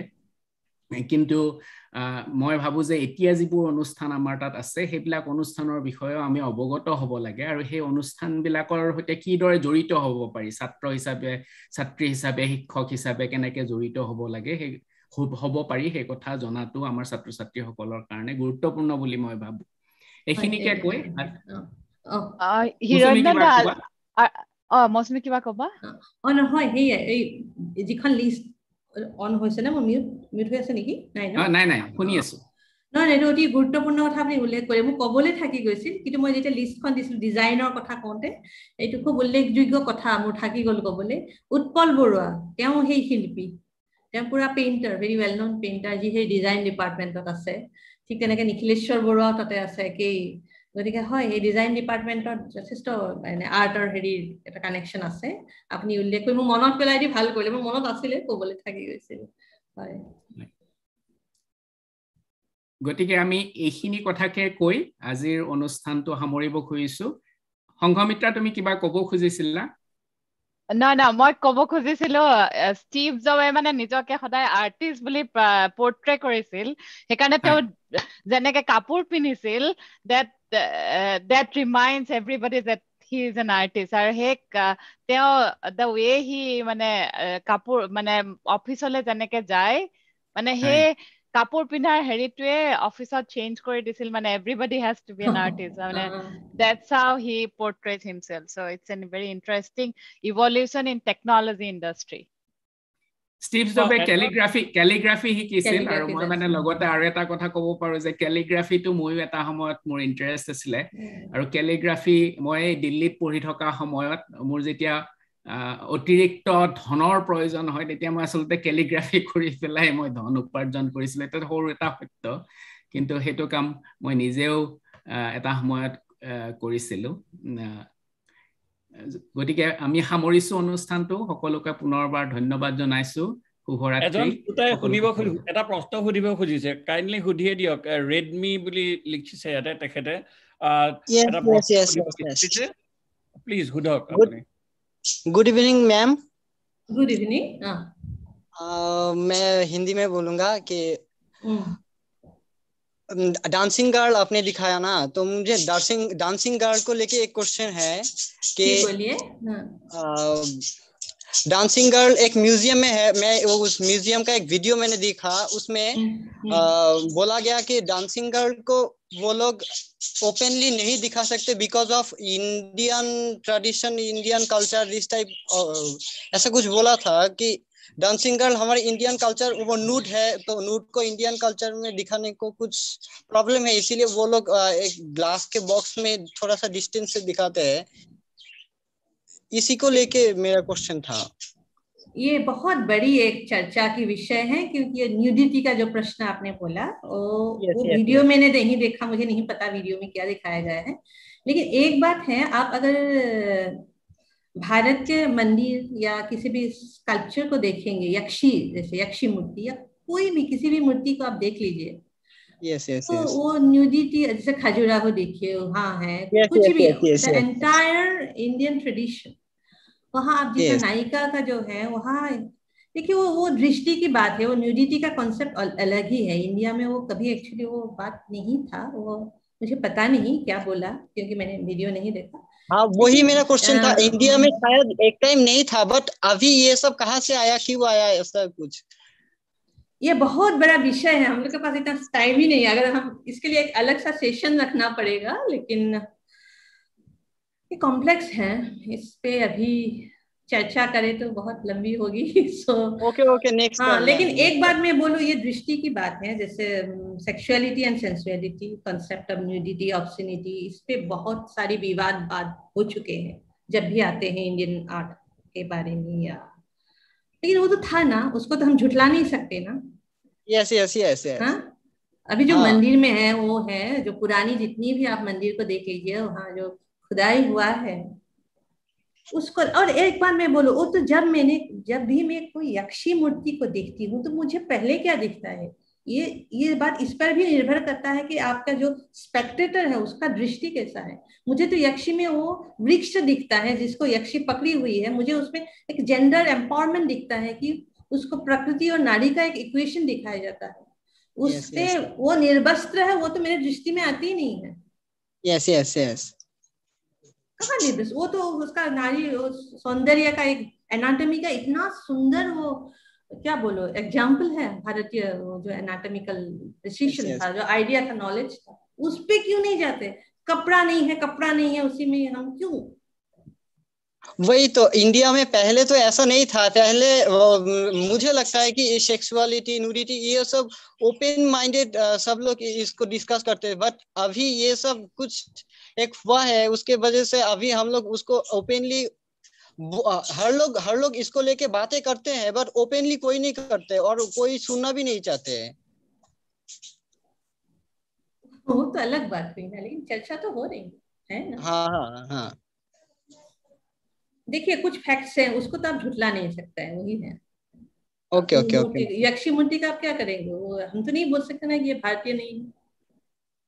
यस यस यस देखिए ultimately it comes to your gaze your vision कि आप किस दृष्टि से देखते हैं उसी यक्षी मूर्ति को लेके कितना काव्य की रचना हुई कितनी सुंदर कविताओं की रचना हुई और कवि को तो वो नहीं लगा यस थैंक यू अगेन मौसमी हिरण्यदा আপুনি এইটো কি কয় thank you for your question dear viewer আৰু হিৰণ্যদা প্লিজ আপুনি মানে এইটো হেৰি কৰিব পাৰে ন অ নাই হিৰণ্যদা you are muted Thank you again. Thank you, uh, Mosumi, once again. A very good presentation. It was very engaging and uh, and uh, thank you to everyone. Uh, good night. Kuvaratri. Dhanyabad.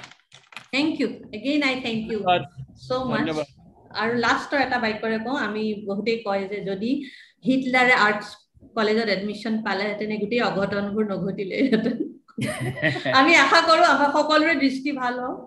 এই যিহেতু প্ৰশ্নটো লৈয়ে কৈছো। আৰু কলাই আমাক পথ দেখুৱাওক আৰু আৰু এই বিভিন্ন এই বিভাজনবোৰ আমি লৈ নাথাকো আৰু চাইন্স আৰ্টছ চবেই ভাল সকলোৱে দৰকাৰ।